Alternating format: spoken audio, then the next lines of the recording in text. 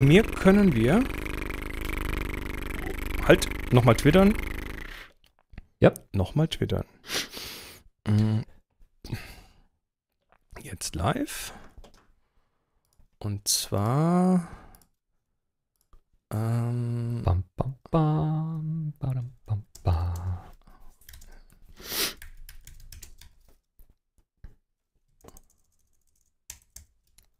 und zwar. Hey, jetzt wollte ich den eigentlich Huch. kopieren.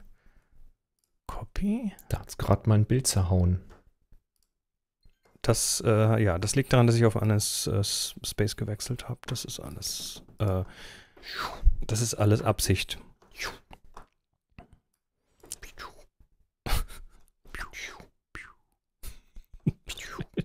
Ja, es geht übers OBS kann das nur vom Bumm. Also, wegen mir kannst du jetzt auf den Knopf drücken. Ich bin soweit. Äh, ist, vorbereiteter wird's nicht. Lass uns loslegen. Haben wir eigentlich die Reihenfolge? Haben wir die genügend Pausen da zwischen den? Weiß ich. Haben wir, haben wir eigentlich über den Inhalt gesprochen? Ne, über den Inhalt haben wir gesprochen. Nee, ich würde sagen, dass ich, dass ich, dass ich, ich fahre mal den ersten Block noch ein bisschen nach oben.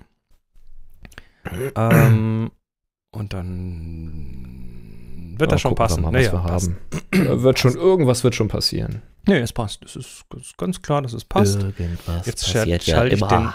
Stream auf live, dann sollte auch gleich noch der Push kommen. Äh, einmal, zweimal.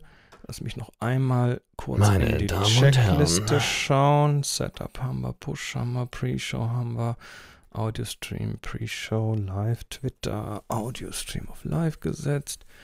Ähm, das müsste ich jetzt, jetzt müsste ich eigentlich nur noch die Badge wegmachen. So, und jetzt kannst du loslegen.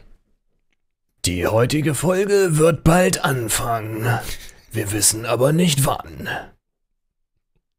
Schalten Sie daher auch morgen wieder ein, wenn wir Ihnen alles geben. Ach so, anfangen soll ich. Gut. Ah, Fenster, Fenster, Fenster. Die heutige Folge wird euch präsentiert von Jimdo und Enjoykammer.com.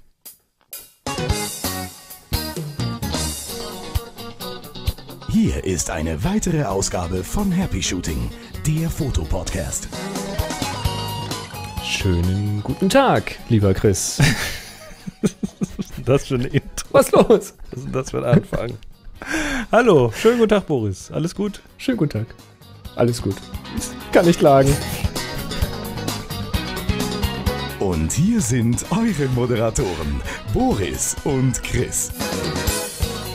Also normalerweise fällt uns ja für den Anfang mal was Lustiges ein. Das können wir mal Nö, besser. eigentlich nie. Das können wir eigentlich, Eigentlich besser. nie. Nein, nein. Nee, das Lustige äh, haben wir ja schon in der Pre-Show verschossen quasi. Also wer Stimmt. zugeguckt hat, äh, mit Audio-Routing und Fenstergeschieben, mit äh, Desktop-Wechselleinen. Hey, es ist. Ich So habe auch das. Lichtsetup schon wieder ein bisschen verändert. So richtig gefällt mir das aber immer noch nicht. Weißt ich, du, dann ich sehen bin noch die, nicht fertig Dann damit. sehen die Leute, wie es gemacht wird. Ich finde das immer schön. Da darf man, man darf ruhig mal so ein bisschen in die Karten gucken lassen. Habe ich prompt ein Licht vergessen. Weißt du warum? Weil ich habe den Akku. Ist auch egal. Äh, Also- erzähl doch schon mal, worum es so geht. Also das Blaue da hinten, das ist ja auch akkubetrieben. Dann, äh, ich weiß auch nicht mehr, wie Wahnsinn. lange der noch kann. Vielleicht wird es da dunkel. Ja, wir haben heute spannende Sachen. Spannende Sachen. Also, es gibt neue Webcam-Software, es gibt Ransomware, jemand sucht eine Stimme. Ähm, ein, äh, ein ganz wichtiger Mensch für die Fotografie ist von uns gegangen. Es äh, gibt einen kleinen Adobe Rant. Es gibt, was noch? Ah ja, Panasonic, äh, Adobe, äh, Canon, äh, Canon-Ecke, nicht zu vergessen. Wie, wie könnte ich das vergessen? Ähm, wir haben noch mal eine kleine Analoggeschichte und Termine. Heute gibt es Termine. Das ist eigentlich alles. Wahnsinn. Mehr gibt's nicht. Das finde ich gut. Tja. Reicht ja auch.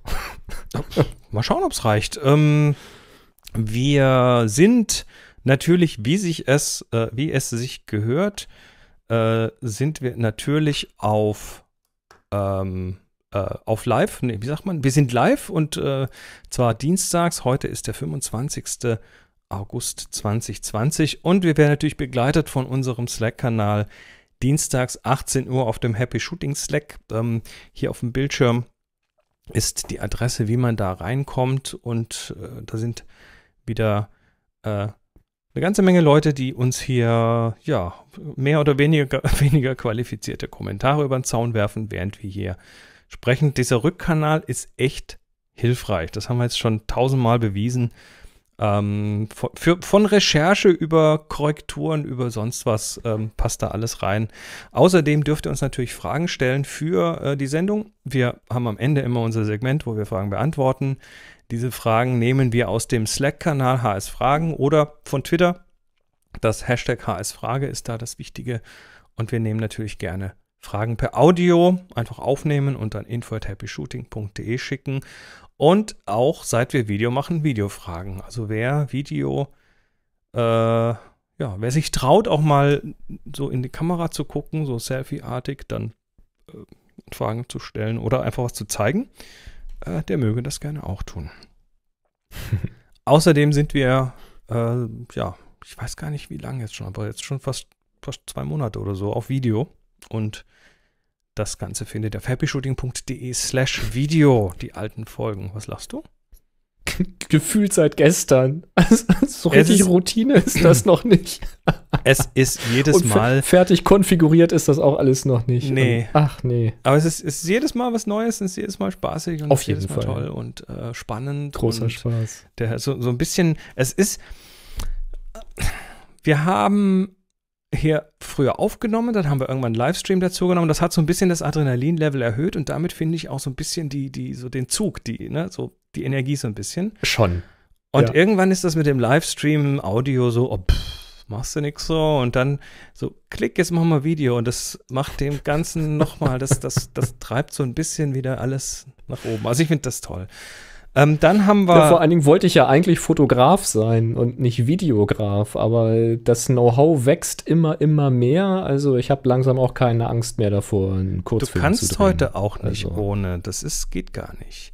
Ähm, dann haben wir noch ein kleines Dankeschön und zwar heute an den Marcel für eine Spende und ähm, ja, also wir haben da ja dieses Konto und da kann man über happyshooting.de slash spenden äh, so klingen, sowas in Sparschweinchen werfen. Wir äh, können es auf jeden Fall brauchen und ähm, manche tun das auch gleich so mit Dauerauftrag und so. Das Mein Staubsaugerroboter hat 5 Cent gefunden. Dein Staubsaugerroboter? Wenn er das noch ein paar Mal macht, hat er sich selbst bezahlt. Finde ich gut. Du, ich vermute mal, das waren deine 5 Cent. Möglich. Möglicherweise war das, war das dein Geld. No Ach, gut. herrlich. Ja, also vielen Dank. Also Spenden immer gut. Genau, Kommt 1000 gut an, wird Dank. verwendet hier für diesen Podcast. Sehr gut. Wir haben ein paar News. Fangen wir doch mal vorne Oh ja, mit, das mit Sony wir. an. Sony, endlich. Ja, ich habe es gefunden und der Christian hat es dann auch nochmal bestätigt. Ähm, Thema Webcam über USB-Anschluss. Das haben jetzt ja ganz viele Kamerahersteller gemacht, dass ihr eure Kamera über den USB-Anschluss mit dem Rechner verbindet und dann diese Kamera in diversen Programmen ganz normal als Webcam auftaucht. Das macht es natürlich sehr einfach über Skype und Konsorten ja an Online-Konferenzen teilzunehmen, wie das jetzt in Corona-Zeiten eben ja Usus geworden ist, muss man ja schon sagen. Mhm. Aber Sony hat noch gefehlt. Und jetzt ist Sony da. Das heißt, jetzt könnt ihr mit eurer Sony-Kamera, zumindest mit hoher Wahrscheinlichkeit, unter Windows das Ding als Webcam benutzen. Im Augenblick halt, wie bei den anderen ja, oder bei den meisten anderen es auch angefangen hat, mit Windows 10 64-Bit. Noch keine Mac-Version.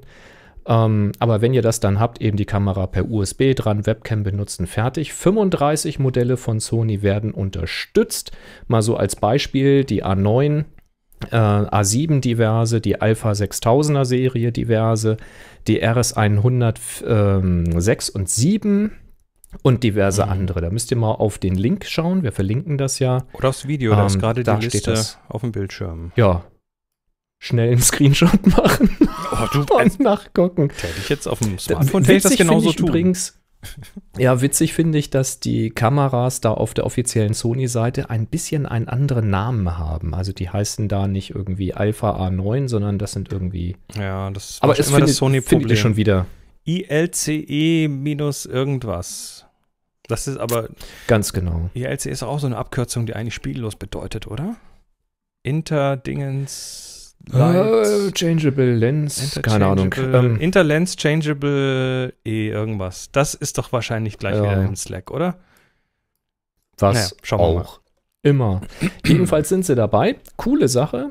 Ähm, ja, Christian, danke auch für den Hinweis, für den Link nochmal. Ich hatte die Information auch schon aus einem Blogbeitrag gesehen.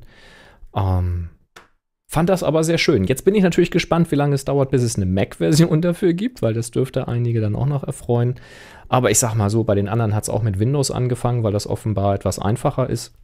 Ähm, könnte mir aber gut vorstellen, dass da noch mehr den Wunsch haben nach einer, äh, sag schnell, Mac-Version. Ne? Also das wird schon noch kommen, denke ich. Ich hoffe mal. Ich gehe mal fast von aus. gut. Das wird jetzt ja auch irgendwie. Damit sind wir jetzt aber bei den großen Herstellern durch, oder? Jetzt, jetzt haben alle Ich denke was. schon. Oder fehlt Und- noch was? Nee, ich denke schon. Außerdem es ist ja sinnvoll, dass die an der Stelle tatsächlich auch noch mal ein bisschen was investieren, weil äh, wenn ich mir so die aktuellen Zahlen anschaue, werden wir noch ein bisschen Videokonferenzen machen müssen.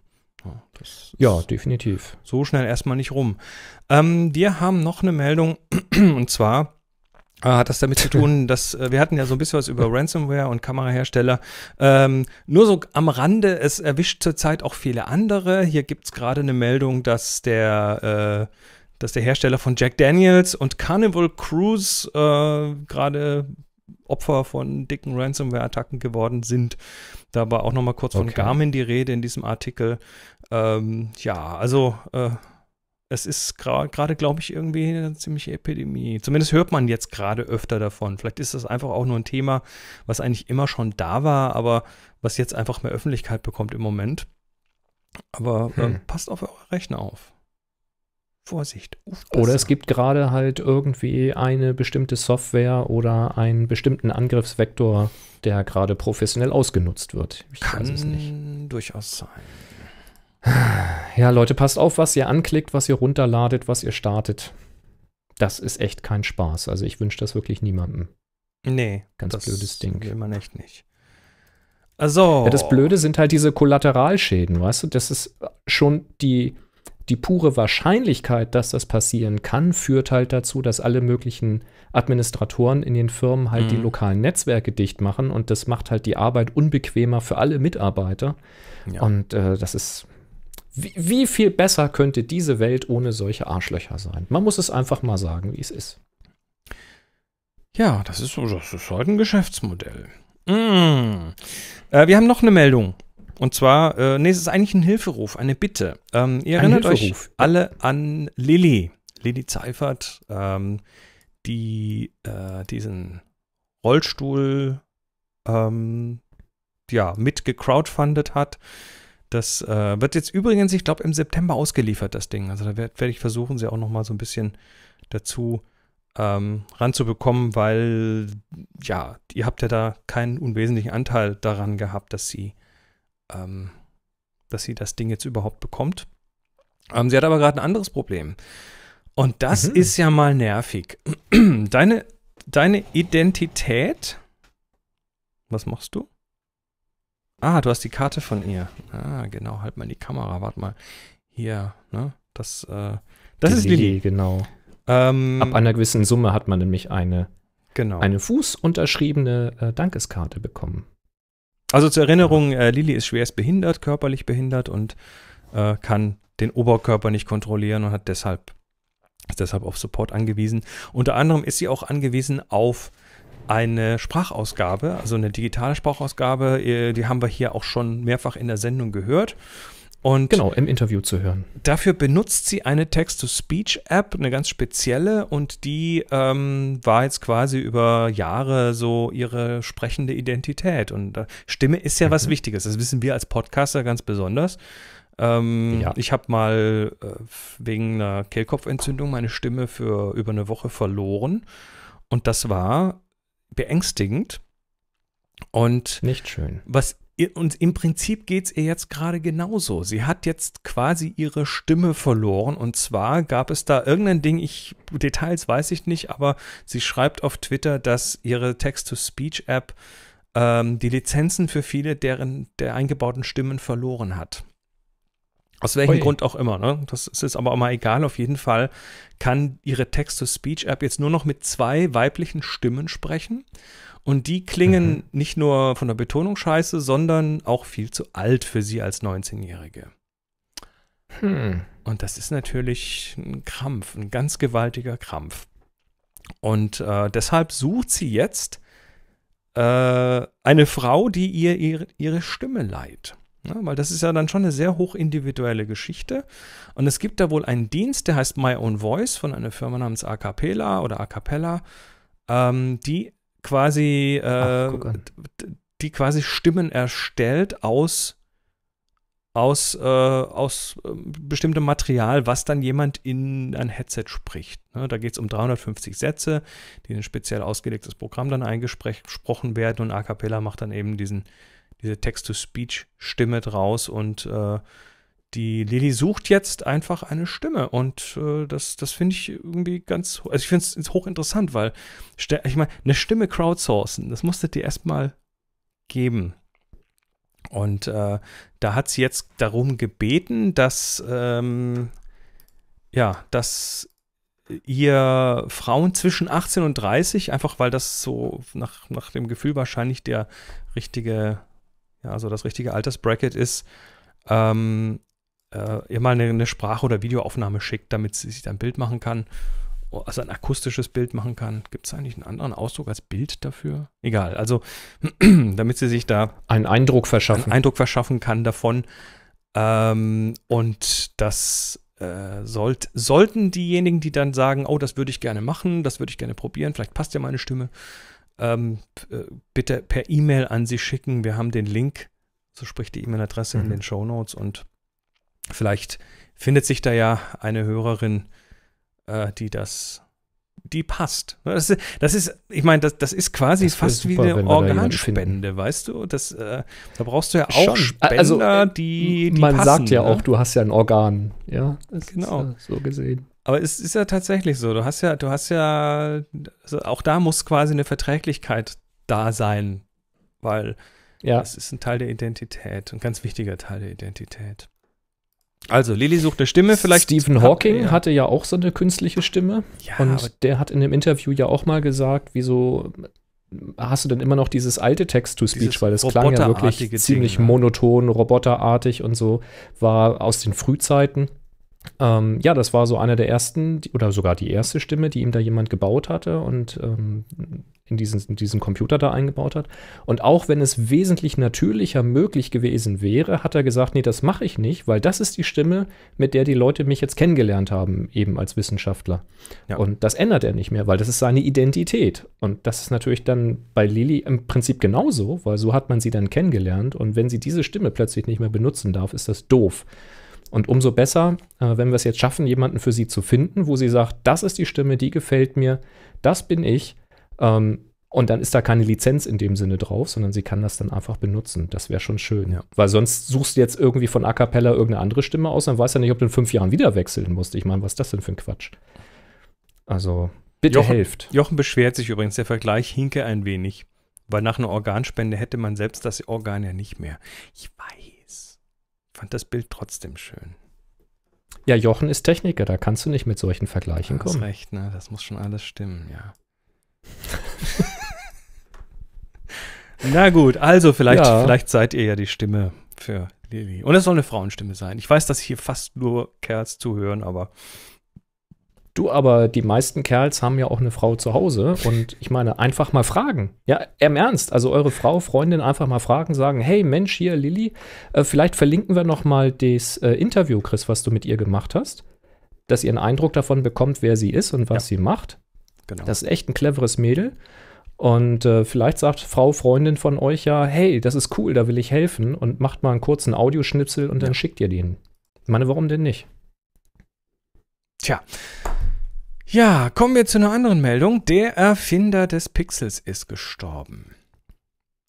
Rus Russell Kirsch. Wer Wer kennt ihn nicht? Wer nee, das ist tatsächlich ein Erfinder Mensch. des Pixels? Ja, der ist mir vorher tatsächlich noch nicht untergekommen. Ähm, aber es ist tatsächlich der, ein, ein, einer der Pioniere oder wahrscheinlich der Pionier der digitalen, des digitalen Bildes. Ähm, ist am Dienstag Okay. gestorben, war 91 Jahre alt. Ähm, und ja, es ist nicht, er ist nicht wenig in der, äh, nicht viel in der Öffentlichkeit gewesen, ähm, kam aus New York und war am, am Harvard, bei Harvard und spä später dann am MIT und ähm, war dann irgendwann später im, im National Bureau of Standards, also so eine Standardisierungsbehörde der, Amer der Amerikaner. Und da war er 50 Jahre angestellt und hat unter anderem äh, das erste Digitalbild gemacht. Und zwar hat er äh, ein 172 mal 172 großes Bild seines Sohnes, Sohn Walton, 1957 gemacht. Ähm, Das kenne ich sogar, das Bild. Ist das unter anderem- nie in Zusammenhang gebracht. unter anderem in Live, im Live-Magazin als äh, in, in der Rubrik 100 Photographs that changed the world.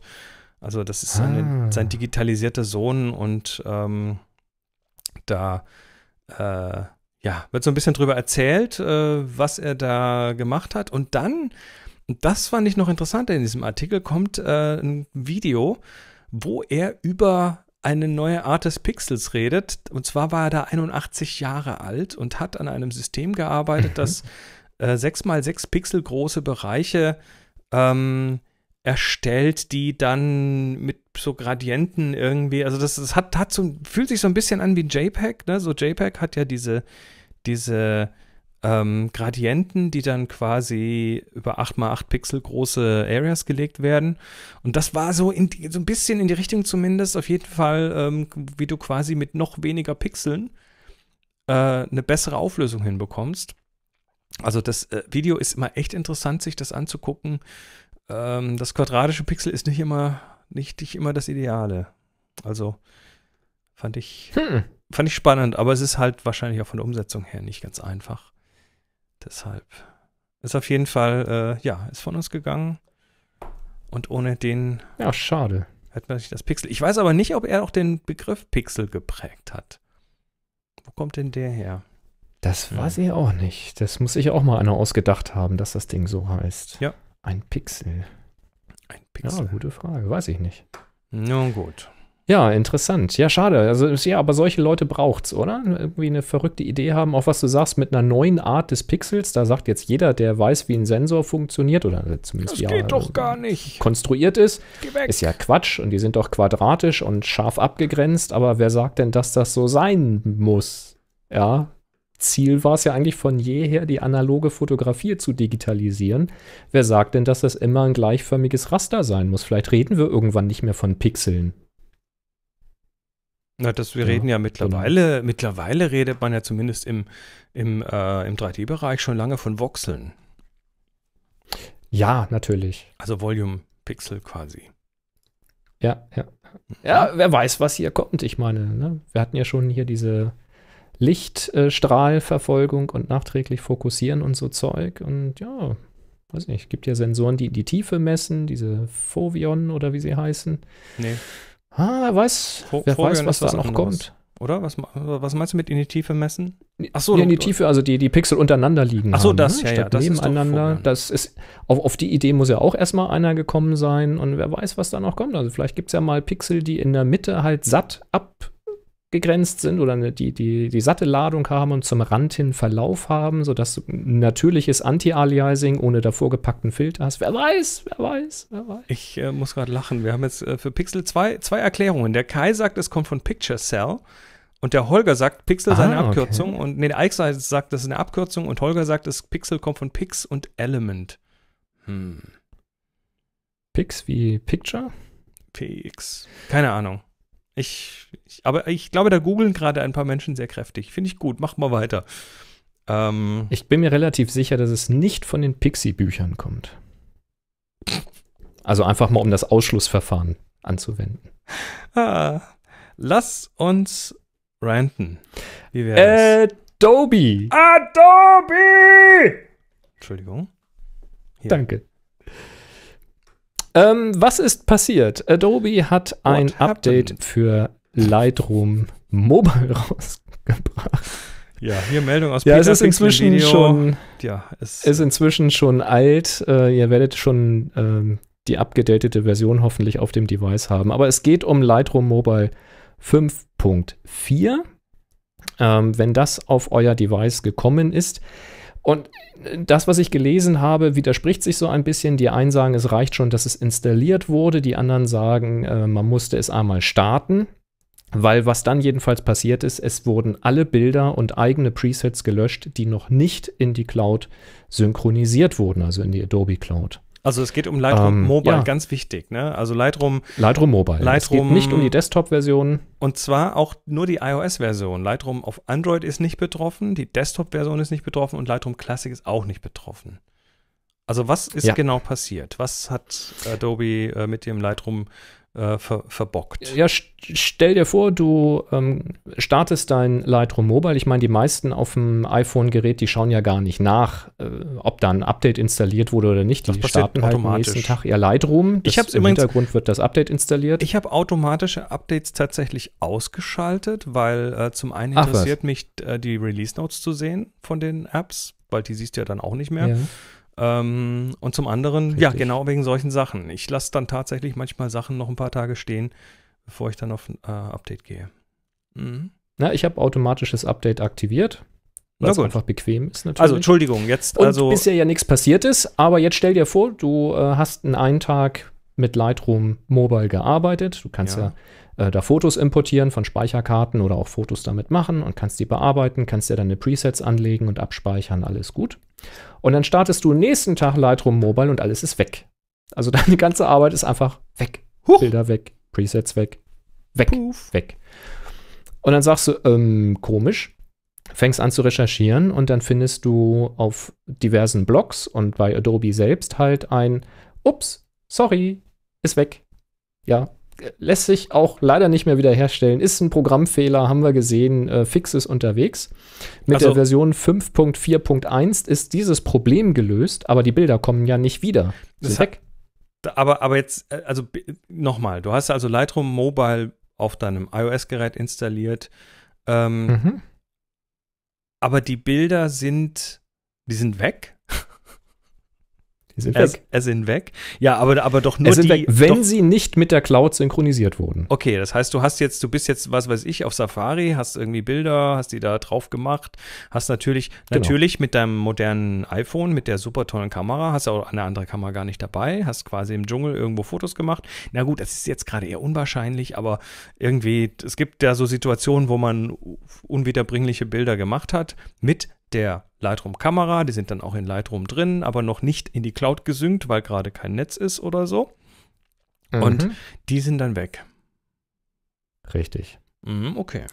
Und das finde ich erstaunlich. Also, also ich bin ja selbst Softwareentwickler, ne, so hauptberuflich. Und von daher weiß ich, was für ein Quatsch passieren kann in Software. Und da können wirklich blöde Fehler auftreten. Aber Fehler, die Daten löschen, also dass etwas wirklich verloren geht, unwiderruflich, das ist schon also technisch ist das möglich, aber das spricht schon sehr stark dafür, dass da nicht wirklich getestet worden sein kann. Da, und, und zwar nicht, also ich, ich, kann, ich kann mir noch vorstellen, dass sowas mal durchrutscht beim Testen, wenn es in einem ganz fernen Corner Case, also i- unter, unter irgendwelchen Ja. komischen Umständen beim Mittwoch bei Ja. Vollmond und wenn man vorher noch dreimal um den Brunnen Was- gerannt ist, dann kann das möglicherweise Ja. ja, sein, dass man den halt im Test nicht ge gefangen hat. Aber sowas Das- Drastisches das wie Datenverlust, das ist doch. Ja. Also das, was du gerade beschreibst, sind so diese Sachen, wie, äh, wie sie Apple ja immer wieder hat, dass du, obwohl dein iPhone gesperrt ist, Ja. Du über 25 Umwege irgendwie es schaffst, an die Kontakte ranzukommen oder an bestimmte Kontakte und über die Kontakte an die Messages. Aber das funktioniert dann halt, wenn du im richtigen Rhythmus, im richtigen Intervall, an der richtigen Stelle tippst und das Richtige machst und so weiter und so. Also Also, Bein. dass sowas beim Testen nicht auffällt, schön, dass es Leute gibt, die sowas herausfinden und an Apple melden, damit das gefixt werden kann. Ist alles gut. Mhm. Ähm, aber ein Stück Software, das, wie gesagt, ich weiß jetzt nicht, ob das Installieren reicht, also das, das Aufbringen auf das Gerät, dass das Update installiert wird oder ob man es starten musste. Aber beides ist so Angeblich essentiell. Reicht, dass man es installiert, was ich mir nicht vorstellen kann. Ja, das hatte ich, das habe ich an einer Stelle gelesen und an anderer Stelle habe ich gelesen, man musste es starten. Also ich bin da unsicher, aber beides ist so quasi so Stell ein dir vor, du, First du Step. startest das, siehst deine Bilder und plötzlich so, fupp, weg. Fupp. Also äh, egal wie, das ist, das ist so offensichtlich und Adobe wirklich, also wenn da getestet wird, und da wird nur getestet mit aktivierten Cloud-Sync und mit synchronisierten Bildern. Und es wird nicht getestet, was mit lokal vorhandenen Bildern passiert, das wenn die eben noch nicht übertragen sind. Weil auch das ist ja ein Testcase. Du hast Sachen drauf, die sind noch nicht synchronisiert, dann kommt ein Software-Update und trotzdem muss die neue Version in der Lage sein, mit vielleicht einer älteren Version der Cloud, die dann noch nicht aktualisiert ist, Daten zu synchronisieren. Das sind alles so Testcases, das muss man machen. Das machen wir selbst auch. Das ist verdammt aufwendig, diese ganzen Fälle zu testen, aber das ist Grundlage das Programm zu starten und keinen Datenverlust zu erleiden, wenigstens mit den beiden simpelsten Dingern. Bilder, die in der Cloud sind, Bilder, die nicht in der Cloud sind. Alter, echt jetzt? Und natürlich stehe ich komplett auf dem Standpunkt, kein Backup, kein Mitleid. Da, da, also 100% rennt ihr bei mir damit alle Türen ein. Wobei Wenn ihr Daten verliert auf euren Computern oder auf den, äh, auf den Smart Devices ähm, und ihr habt kein Backup davon gemacht, selbst schuld. Aber jetzt verrat mir mal, wie soll ich denn ein Backup machen von den Daten, die in Adobe Lightroom liegen? Äh, du machst doch hoffentlich dein iCloud-Backup. Sind ja die Daten da drin? Ne? Da würde ich jetzt mal von ausgehen. Das habe ich nämlich irgendwo gelesen. Das ja, die Aussage hieß, das wäre eine Möglichkeit, die man versuchen könnte, ohne Garantie auf Erfolg. Ja, weil, also weil, ich bin weil, mir jetzt weil, nicht so sicher. Also Apple, ich weiß jetzt nicht, wie viele Versionen deines iCloud-Backups Apple vorhält, aber ich weiß, dass du tatsächlich, wenn du einen Restore und zwar vom gesamten, vom gesamten Gerät machst. Ne? Du kannst es nicht sagen, äh, wie bei anderen Backup-Solutions, ich gehe jetzt mal und restore nur die Daten von X, sondern du musst halt das komplette gesamte iPhone restoren aus deinem Backup, was hoffentlich nächtlich oder täglich äh, läuft. So im Hintergrund, mhm. wenn man das richtig macht. Oder ich glaube, das ist auch, ich glaube, es ist sogar relativ schwer, das nicht zu tun. Ähm, und wenn man irgendwie genügend Geld in die Cloud einwirft, dass man auch genügend Platz hat, dann liegen da liegt da ein Backup oder mehrere Backups. Das heißt, wenn du ein Gerät aus einem alten Backup wiederherstellen möchtest, was ich auch schon mehrfach gemacht habe, aus anderen Gründen, einfach Gerätewechsel zum Beispiel, ähm, dann bietet er dir da ein oder mehrere Backups an. Das hat wahrscheinlich mit dem Platz zu tun. Und diese Backups, die sind dann auch datiert. Das heißt, du kannst schon sagen, ich möchte gerne, wenn du Glück hast und alles, und alle Sterne richtig stehen, kannst du schon sagen, ich möchte gerne das Backup von vorgestern haben. Und da sind dann hoffentlich deine Lightroom-Daten drin. Und äh, das Ganze ist aber ziemlich lästig, weil du musst ja dein komplettes Gerät neu aufsetzen. Ne? da ist, sind ja dann alle Daten zurückgesetzt. Und alles, was du in den letzten zwei Tagen gemacht hast und das, was nicht in den, irgendwo in der Cloud sitzt, sondern lokal auf dem Gerät, ist dann halt wieder auf dem Stand von vor zwei Tagen. Und hoffentlich sind die Daten das, drin. Ja, also das ist mal richtig Kacke. Was ich jetzt halt nicht ausprobiert habe, ist, was passiert, wenn du das, ähm, wenn du das iPhone an PC oder Mac anschließt und dann eben mit iTunes oder eben äh, mit dem Finder jetzt in dem neuen Catalina, äh, wenn du da drauf guckst, ob du da an die lokalen Daten von äh, Adobe Lightroom Mobile drankommst sodass man sich ein lokales Backup davon machen kann. Es wäre jetzt aber, wenn ihr intensiv mit dieser Software arbeitet, jetzt der richtige Zeitpunkt herauszufinden, wie ihr die lokalen Daten euch sichern könnt, damit ihr ein Backup habt von den Daten, die noch nicht in der Creative Cloud liegen oder die noch nicht zurück auf euren Rechner synchronisiert wurden. Was, was natürlich eh für alle Daten erstmal gilt, die nicht irgendwo anders sitzen. Natürlich. Äh, außerdem, es gibt, es gibt noch meines oh, Wissens ein Tool, ein so, ein, so ein Backup-Extraktor, der dir quasi aus den iCloud-Backups oder sind es lokale Backups irgendwie nochmal Daten ja, rausziehen kann, aber so wie du die dann wieder nach Adobe rein. Es ist, also es ist ein Albtraum und für Leute, die jetzt nicht irgendwie ja, technisch so äh, versiert sind, ist das Drittanbieter-Software und so. Geht das ja also Korrekt. gar nicht. Also es wäre jetzt halt ein, ich, ich habe halt nichts konkret dazu gelesen, wo Leute sagen, jawohl, hatte ich auch das Problem, die waren auf dem iPhone weg, war aber kein Problem, weil sie sind ja noch in dem Lightroom, ähm, also in dem neuen Lightroom, was ja das Mobile ist, auf PC oder auf Mac, da sind sie noch drinne, da sehe ich sie und dann kann ich einen Knopf drücken, dann kommen sie zurück aufs Gerät oder keine Ahnung, ob das möglich war. Ich ähm, weiß gar nicht, ob ich den Fall hatte. Ich habe es noch gar nicht gestartet. Komm, ich starte jetzt mal. Aber ich glaube, ich habe keine Bilder, die nicht synchronisiert sind. Ich rufe mal Lightroom auf, komm. Was soll auf, da gleich, gleich glüht dein Gerät und es kommt ein Rauch, Rauchwölkchen raus. Nö, das sieht gut aus. Das sieht so aus, wie ich es kenne. Sieht so aus, wie ich es kenne. Also entweder passiert es beim Starten oder es war alles synchronisiert. Das kann ich natürlich jetzt nicht sagen. Ach, aber wirklich. Nee. Nee. Muss man ein, ein, ein bisschen besser, also gar nicht viel, ein bisschen, bisschen besser testen. Das äh, finde ich, kann man erwarten. Unglaublich. Ah, lass uns, lass kommen, uns schönere kommen Dinge wir besprechen. zu etwas völlig, ich habe leider gerade völlig die falschen Tasten gedrückt. das hier. Happy Shooting, der Fotopodcast. Werbung. Äh, Wir werden heute wieder unterstützt von enjoycamera.com. Das sind die mit dem Fotozubehör und mit dem Code HappyShooting2020 bekommt ihr, ich wollte gerade 2015 sagen, ich weiß auch nicht, wo das herkommt. Äh, 2020 Schon länger bekommt ihr her. 5%, deswegen den 5 von den 5%, bekommt ihr 5% Ja. auf alle Bestellungen, unter anderem auf die Bestellung zum Beispiel eines Aneroid. Und ja, das ist, also, also gut, was ist da der Aneroid? Ähm, es ist ein Lade, ein B Batterieladeroboter.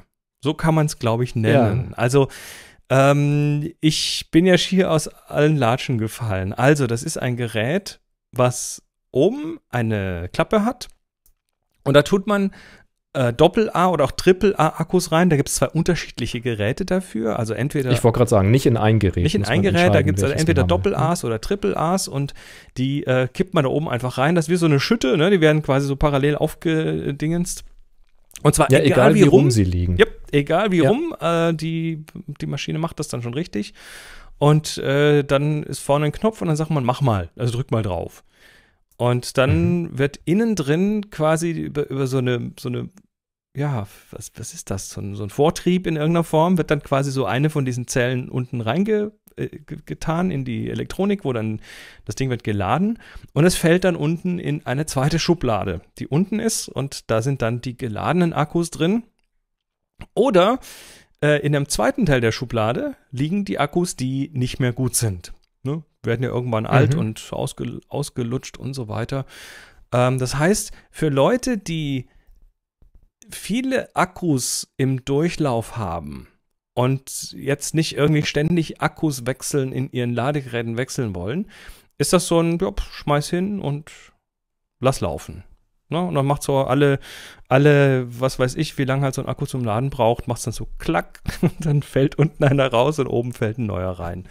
Dann macht Ähm, so wirr, wirr, wirr, klack. ja, das ist, das ist so, ein, Genau. so, ein, so, ein, so ein Mechanismus mit so einem äh, Schrittmotörchen oder sowas drin. Weiß gar nicht genau, Ja, wie das ist halt wie, ist wie so ein. Zahnrad. Es greift sich immer oben den Genau. nächsten Akku und führt ihn dann immer Genau. weiter zur nächsten Station. Das Ganze sieht, äh, sieht ja schick aus. Also das könnte, also ich habe das bei uns im Wohnzimmer mal zum Testen über Nacht hingestellt und äh, meinte, Moni, meinte Moni so, ähm, oh, das sieht doch ganz ordentlich aus. Das könnte man eigentlich fast so im Wohnzimmer stehen lassen. Also doof ist das nicht. Ähm, das Ganze wird äh, betrieben mit USB-C, also Strom von USB-C, Mhm. das reicht aus.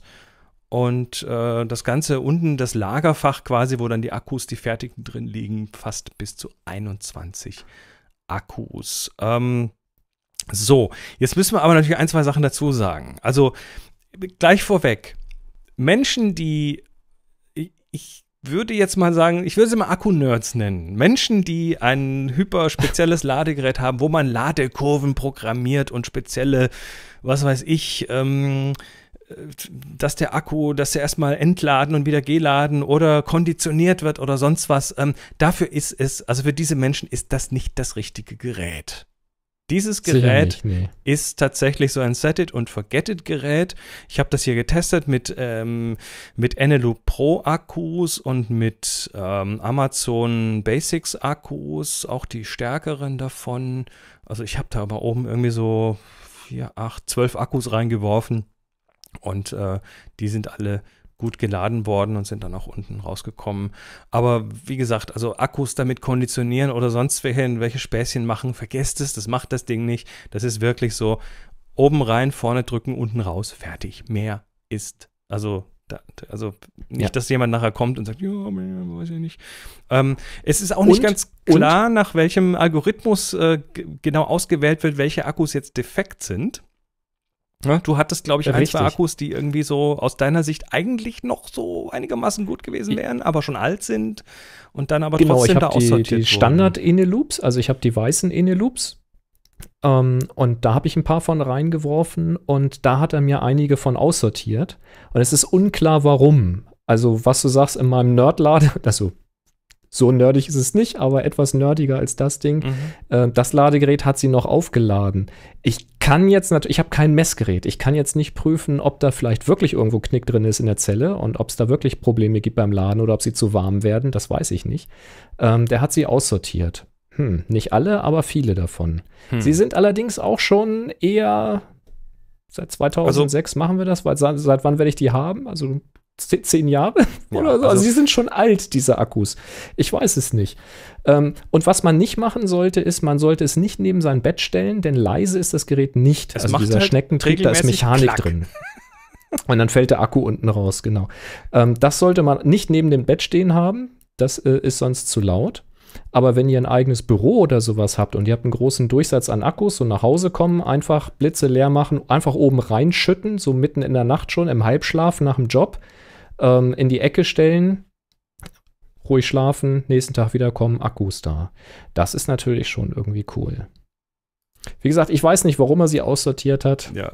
Keine Ahnung. Ich hätte jetzt einen Satz neue Akkus, aber die habe ich jetzt nicht geschafft, vor der Sendung leer zu kriegen, um sie dann Sehr schön.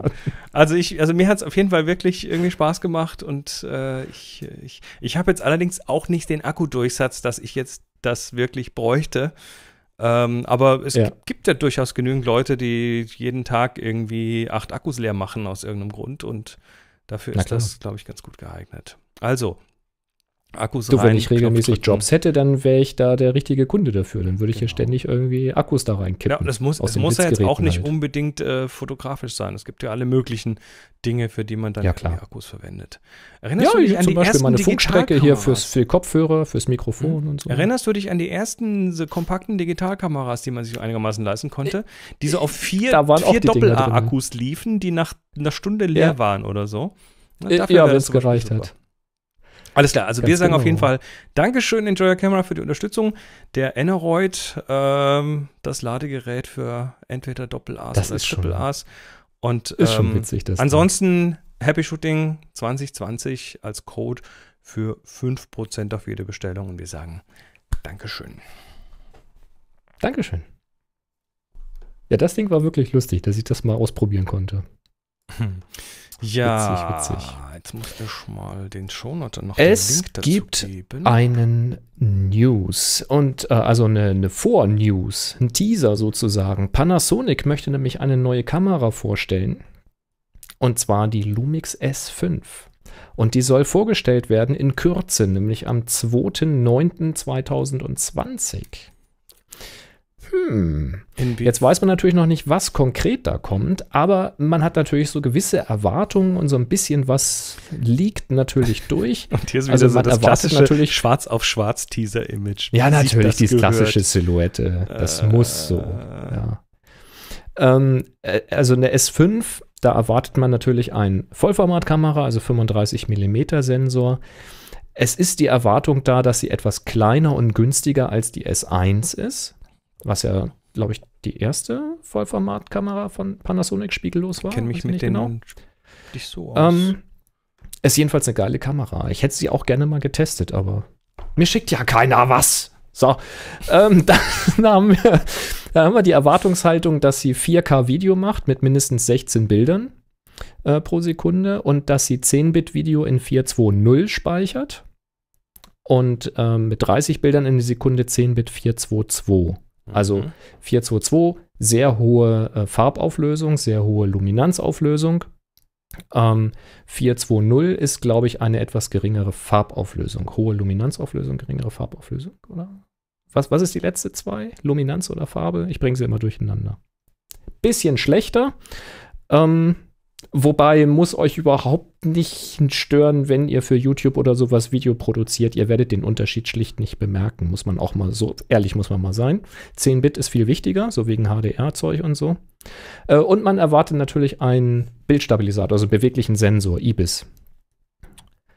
Ja, und da bin ich mal sehr gespannt. Also wird das sowas werden wie quasi ähm, R5 als Äquivalent zur S1 sozusagen und dann die S5 sowie die R6, also quasi als günstigere, abgespecktere Version. Auflösung? Fragezeichen. Wir wissen es nicht. Wir werden am 2.9. mehr wissen. Das ist dann nächste Woche Mittwoch, natürlich nach der Aufnahme. Logisch. Ja, so ist das. Man kann es sich nicht aussuchen. Ist doch Das klar. heißt, übernächste Woche werden wir natürlich berichten. Ähm, schauen wir mal, was da kommt. Ich weiß auch nicht, ob es einen Livestream gibt und so. Ich habe da keinen Link gefunden, leider. Also am 2. September wird vorgestellt und es ist ein Link auf der von uns verlinkten Website. Das heißt, da gibt es eine offizielle Seite und wen es interessiert, kann ja da mal hingehen und Refresh drücken und vielleicht Vielleicht gibt's ja einen passiert Livestream. Da ja auch Keynote was. oder so. Äh, wir müssen noch mal kurz über Adobe reden, aber jetzt mal kein Rant, sondern es gibt eine, eine Ankündigung. Ja, wo wir nämlich bei Livestream sind, ähm, die Adobe Max. Ist das eigentlich eine Abkürzung für irgendwas? Multimedia Äh, wahrscheinlich. All Wahrscheinlich. Exclusive. Keine Ahnung. Also Max jedenfalls die große äh, Multimedia und äh, gestalterische, kreative, wollte ich sagen, Messe von Adobe. Dieses Jahr 2020, Adobe Max 2020, wird Corona-bedingt nicht vor Ort stattfinden, weil ne, großes erwarten. Spektakel, große Anreise, mehrere Tage, kannst du vergessen. Also ähnlich wie alle großen Ankündigungen größerer Firmen, so wie Apple ja auch, wird es eine Online-Messe sein oder ein Online-Event. Eine Online-Veranstaltung, um beim Deutschen zu bleiben, findet statt vom 20. Sie haben bis Keanu Reeves 22. angeheuert. Oktober. Exakt. Und ähm, läuft drei Tage und ihr könnt euch kostenfrei anmelden auf max.adobe.com.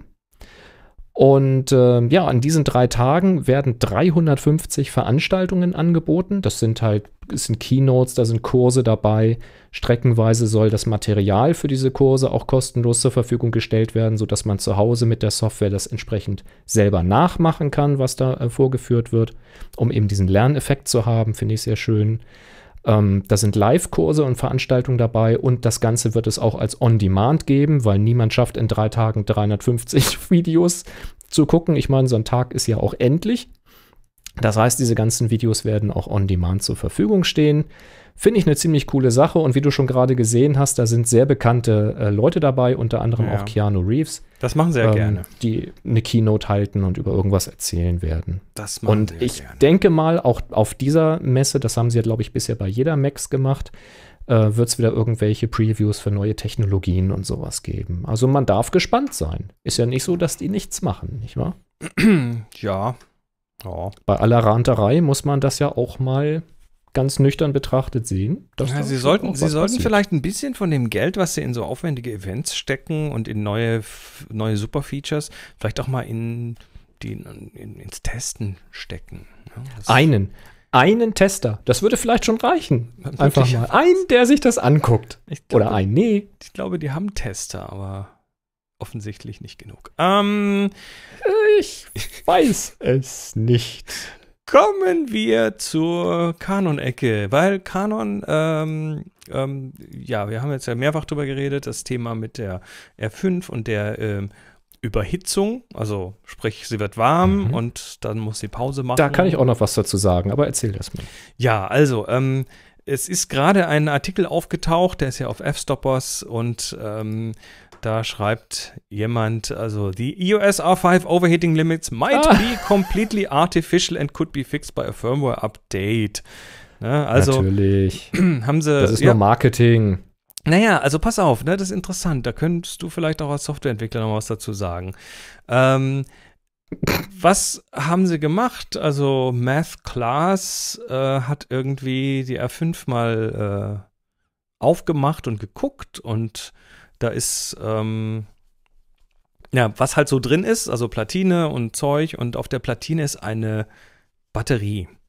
Ja, das ist wie halt in Mhm. Rechnern auch, da ist noch mal eine Batterie drin, die dann irgendwie, wenn du die, die, die große Batterie rausnimmst, dass die Uhr weiterläuft zum Beispiel, solche Sachen. Ja?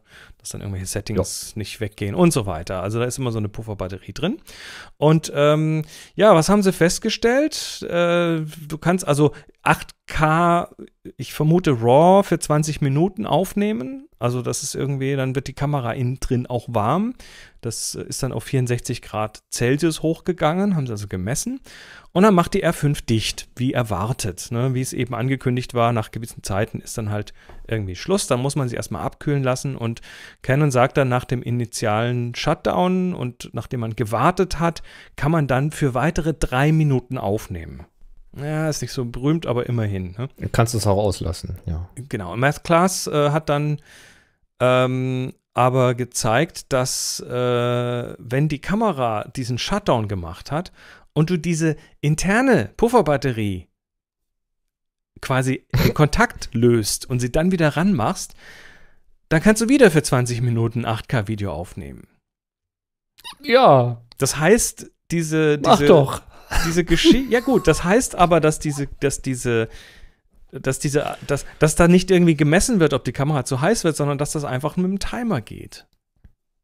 Äh, ist, da, Kann ist, schon das, sein. ist der Artikel äh, sein Salz wert oder nicht? Also, oder ist Also es ich einfach würde ihn wurscht, mit wie etwas Salz machen? lesen. Oder ist es wurscht, wie sie es machen? Also, was ich mir, ja, weiß ich nicht. Keine Ahnung. Also, pff, Also, ich, ich vielleicht, so. misst, vielleicht misst er das und schaltet dann ab, aber wenn du das Ding zurücksetzt, dann ist alles zurückgesetzt und er fängt gar nicht erst an zu messen, weil er gar nicht weiß, dass er messen sollte, weil das Messen alleine auch schon wieder Strom kostet oder so.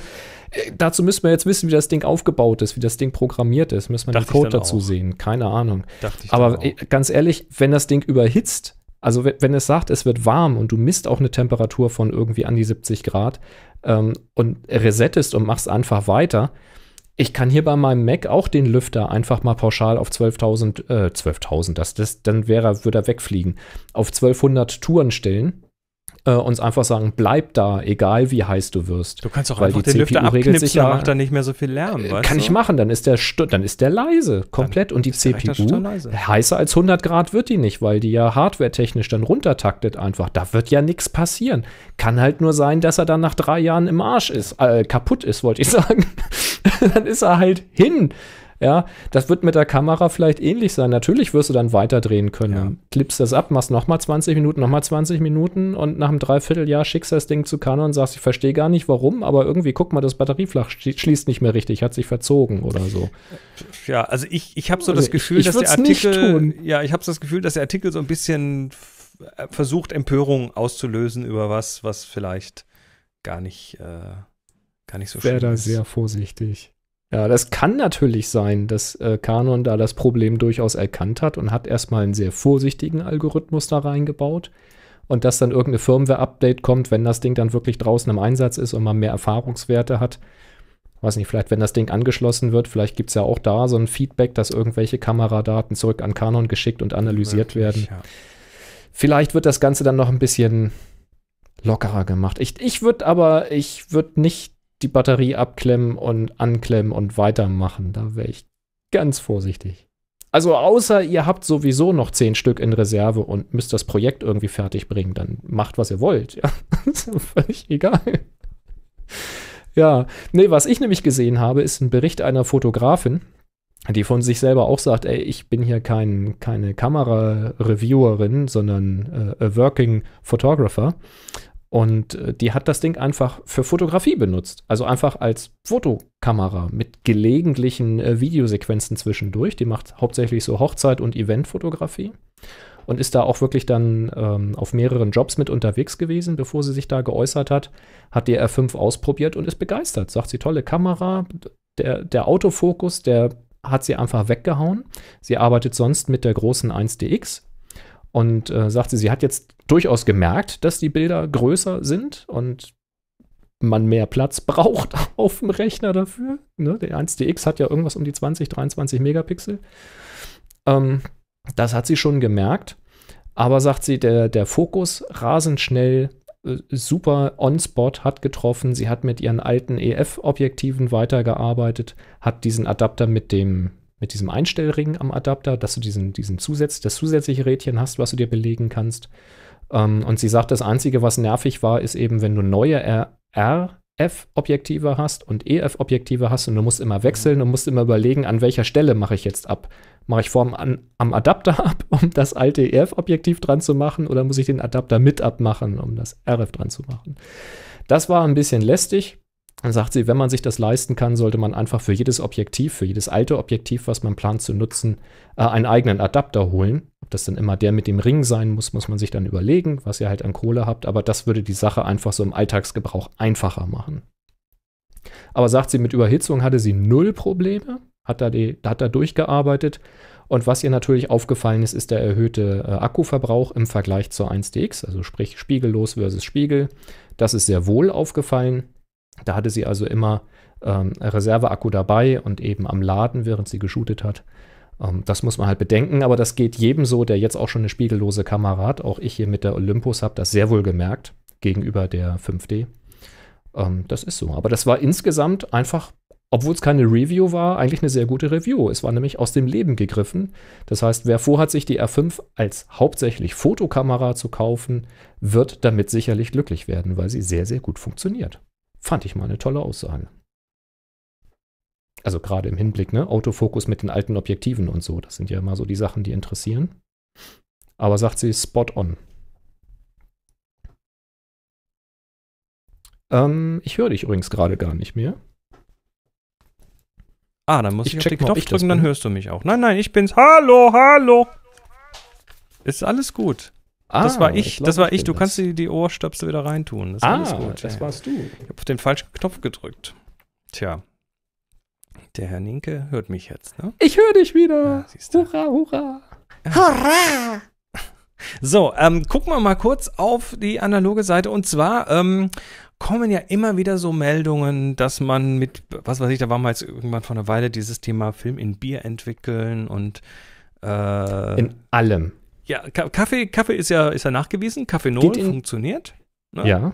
Bei Bier war ich sehr, sehr skeptisch, weil das Bier dann doch, ähm, ja, weil, weil halt relativ viel Vitamin C da drin war und Vitamin C entwickelt Film. Das heißt, äh, das war klar. Aber jetzt kommt was ganz anderes und zwar äh, Film in Kräutern entwickeln. Hier ist ein Mhm. Artikel auf 35mmc.com. Das ist ein wunderschönes Blog zum Thema Analogfotografie. Ähm, und zwar geht es um sogenannte Polyphenolentwickler. Das ist also eine Klasse Chemikalien, diese Polyphenole.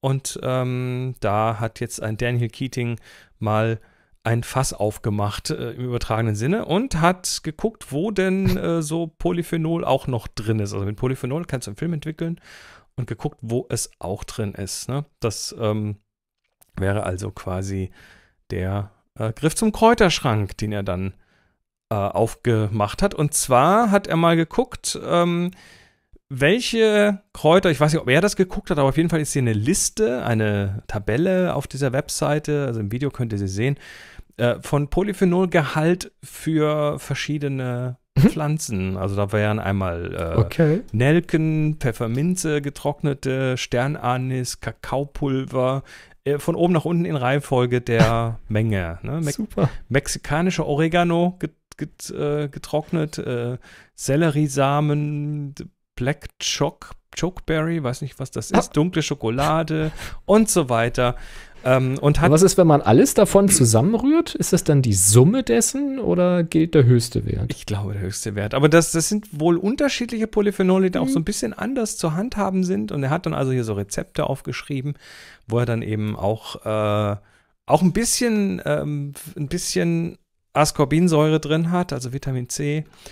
Ähm, aber die Hauptarbeit scheint wohl tatsächlich, der hat das immer, immer anhand des Kaffeenols ausgerechnet, weil da weiß man irgendwie, wie viel drin ist und hat dann mal geguckt, ob er dann eben äh, quasi das Äquivalent mit anderen Dingen hinbekommt.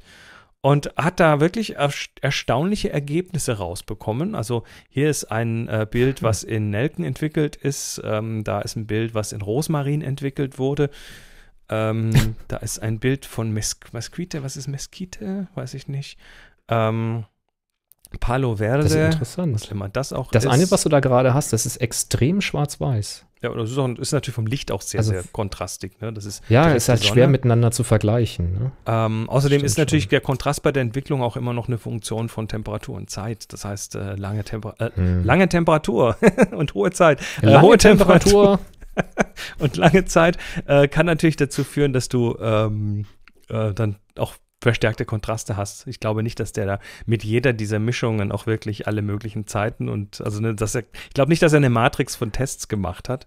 Das wäre jetzt ein schöner Vergleich gewesen. Ähm, wahrscheinlich unterscheidet sich gar nicht so sehr. Mentholkristalle, da kannst du auch äh, drin entwickeln. Und Mhm. Ähm, dann kommt natürlich von so Leuten wie mir, kommt dann immer dieses, ja, Moment, du hast da Vitamin C drin und Vitamin C ähm, entwickelt ja Film, also warum sagen wir jetzt nicht, das ist das Vitamin C, dann sagt er aber selber, äh, some people will also try to suggest that you can use just ascorbic acid, also manche Leute sagen so wie der Chris hier, äh, nö, Moment, vielleicht ist das ja nur das Vitamin C. Und dann hat er tatsächlich Experimente gemacht, wo er äh, das mal nur in Vitamin C und dann eben mit diesen Kräutern entwickelt hat und hat da drastische unterschiedliche Ergebnisse gehabt. Hm, Okay. Also scheinen die tatsächlich. Also da- ist das vielleicht das Vitamin C so eine Art Katalysator, der das Ganze überhaupt in Gang setzt, aber das andere muss dafür da sein oder so? Weiß ich nicht. Aber es scheint in irgendeiner Form, also wenn ich mir die Bilder anschaue, das ist schon spannend, was da so an Kontrasten rauskommt. Ähm, Hm. Und ja, offensichtlich Ich finde das immer lustig. Ja. kannst du auch in Rosmarin oder Menthol Film entwickeln. Tja. Hm. Ich finde find sowas spannend. Ich muss jetzt mal gucken, was wir an Kräutern da haben, weil Tanja hat eine ganze Menge richtig guter Kräuter da als ähm, äh, Futter fürs Pferd. Also kann man halt, äh, wenn du ein Mesh machst oder sowas, schön Kräuter mit dazu mischen. Mögen die total gerne. Jetzt weiß ich nicht, ob ähm, welche von den genannten mit dabei sind, aber vielleicht hätte ich alles hier, um mir einen Entwickler zusammenzupanschen. Was ich interessant finde, also Caffeinol kommt ja vom, äh, vom RIT, vom Rochester Institute of Technology. Die hat, haben damals quasi äh, Chemiestudentinnen ähm, dieses Ding, also RIT hat ja auch eine sehr starke Fotoaffinität, weil das ist ja in Rochester, wo auch Kodak herkommt. Und die haben dann quasi dieses Photo-Related-Projekt gemacht, wo sie dann eben äh, gefunden haben, dass Kaffee funktioniert. Und die haben da sehr viele Haushaltsdinge ausgetestet damals in diesem Mhm. Experiment. Aber irgendwie auf die Kräuter sind sie nicht gekommen und vielleicht ist das, also der, er schreibt, dieser Daniel Keating schreibt unter anderem, dass die, ähm, dass, dass es ja alles, alles sehr angenehm gerochen hat. Also wenn dann du in Rosmarin entwickelst, dann ist auch deine ganze Wohnung natürlich in Rosmarinduft äh, getaucht. Das ist also durchaus, durchaus vielleicht einen Blick wert. Wir verlinken das natürlich in den Shownotes. Und äh, lasst uns mal wissen, ob das bei euch klappt. Warum nicht? Warum nicht? Wieso nicht? Herrlich. Ja, Ja. wieso nicht, möchte man sagen. Shooting, der Fotopodcast. Werbung. Wieso nicht mal eine eigene Webseite bauen? Wir werden nämlich wieder unterstützt von Jimdo, wo ihr genau das tun könnt und zwar ohne Ahnung haben zu müssen von Webseiten bauen. Müsst nur wissen, dass ihr eine machen wollt. Zum Beispiel, um zu zeigen, was für tolle Ergebnisse ihr habt, wenn ihr eure äh, Negativfilme in Kräutern entwickelt. So, stellt euch vor, ihr fahrt zum Pferd, das Pferd nascht am Mesh und nebenan entwickelt ihr in einer ähnlichen Suppe einfach euren Film. Das Ganze dokumentiert ihr und zeigt das dann auf eurer Webseite, um eben eure Umwelt zu informieren. Euer Umfeld sogar. Die Umwelt und das Umfeld. Um halt also Menschen zu informieren, dass das funktioniert und dass nicht nur Pferde sowas futtern können, sondern dass auch Filme sich da drinnen wohlfühlen und einen tollen, äh, ja, tolle Bilder generieren. Das könnt ihr machen, wenn ihr mal geht auf happyshooting.de slash Jimdo. Da kommt ihr auf die Startseite von Jimdo. Da wählt ihr einfach mal den Dolphin und sagt, hey, ich möchte das mal kostenlos ausprobieren. Mach mir doch mal eine Webseite. Dann beantwortet ihr so eine Handvoll Fragen, ist gar nicht viel, irgendwie drei, vier Schritte oder so. Ja, und zack, steht da schon diese Webseite vor euch. Ihr könnt die ändern per Drag and Drop. Also alles sehr visuell gemacht, läuft alles im Browser. Ihr müsst euch nichts dafür installieren, nichts dafür herunterladen. Einfach reingehen in den Browser und loslegen.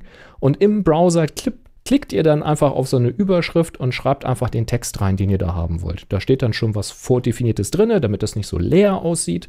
Das ist ganz hilfreich, dass man mal so einen Eindruck hat. Statt Lorem Ipsum steht da wirklich was Lesbares.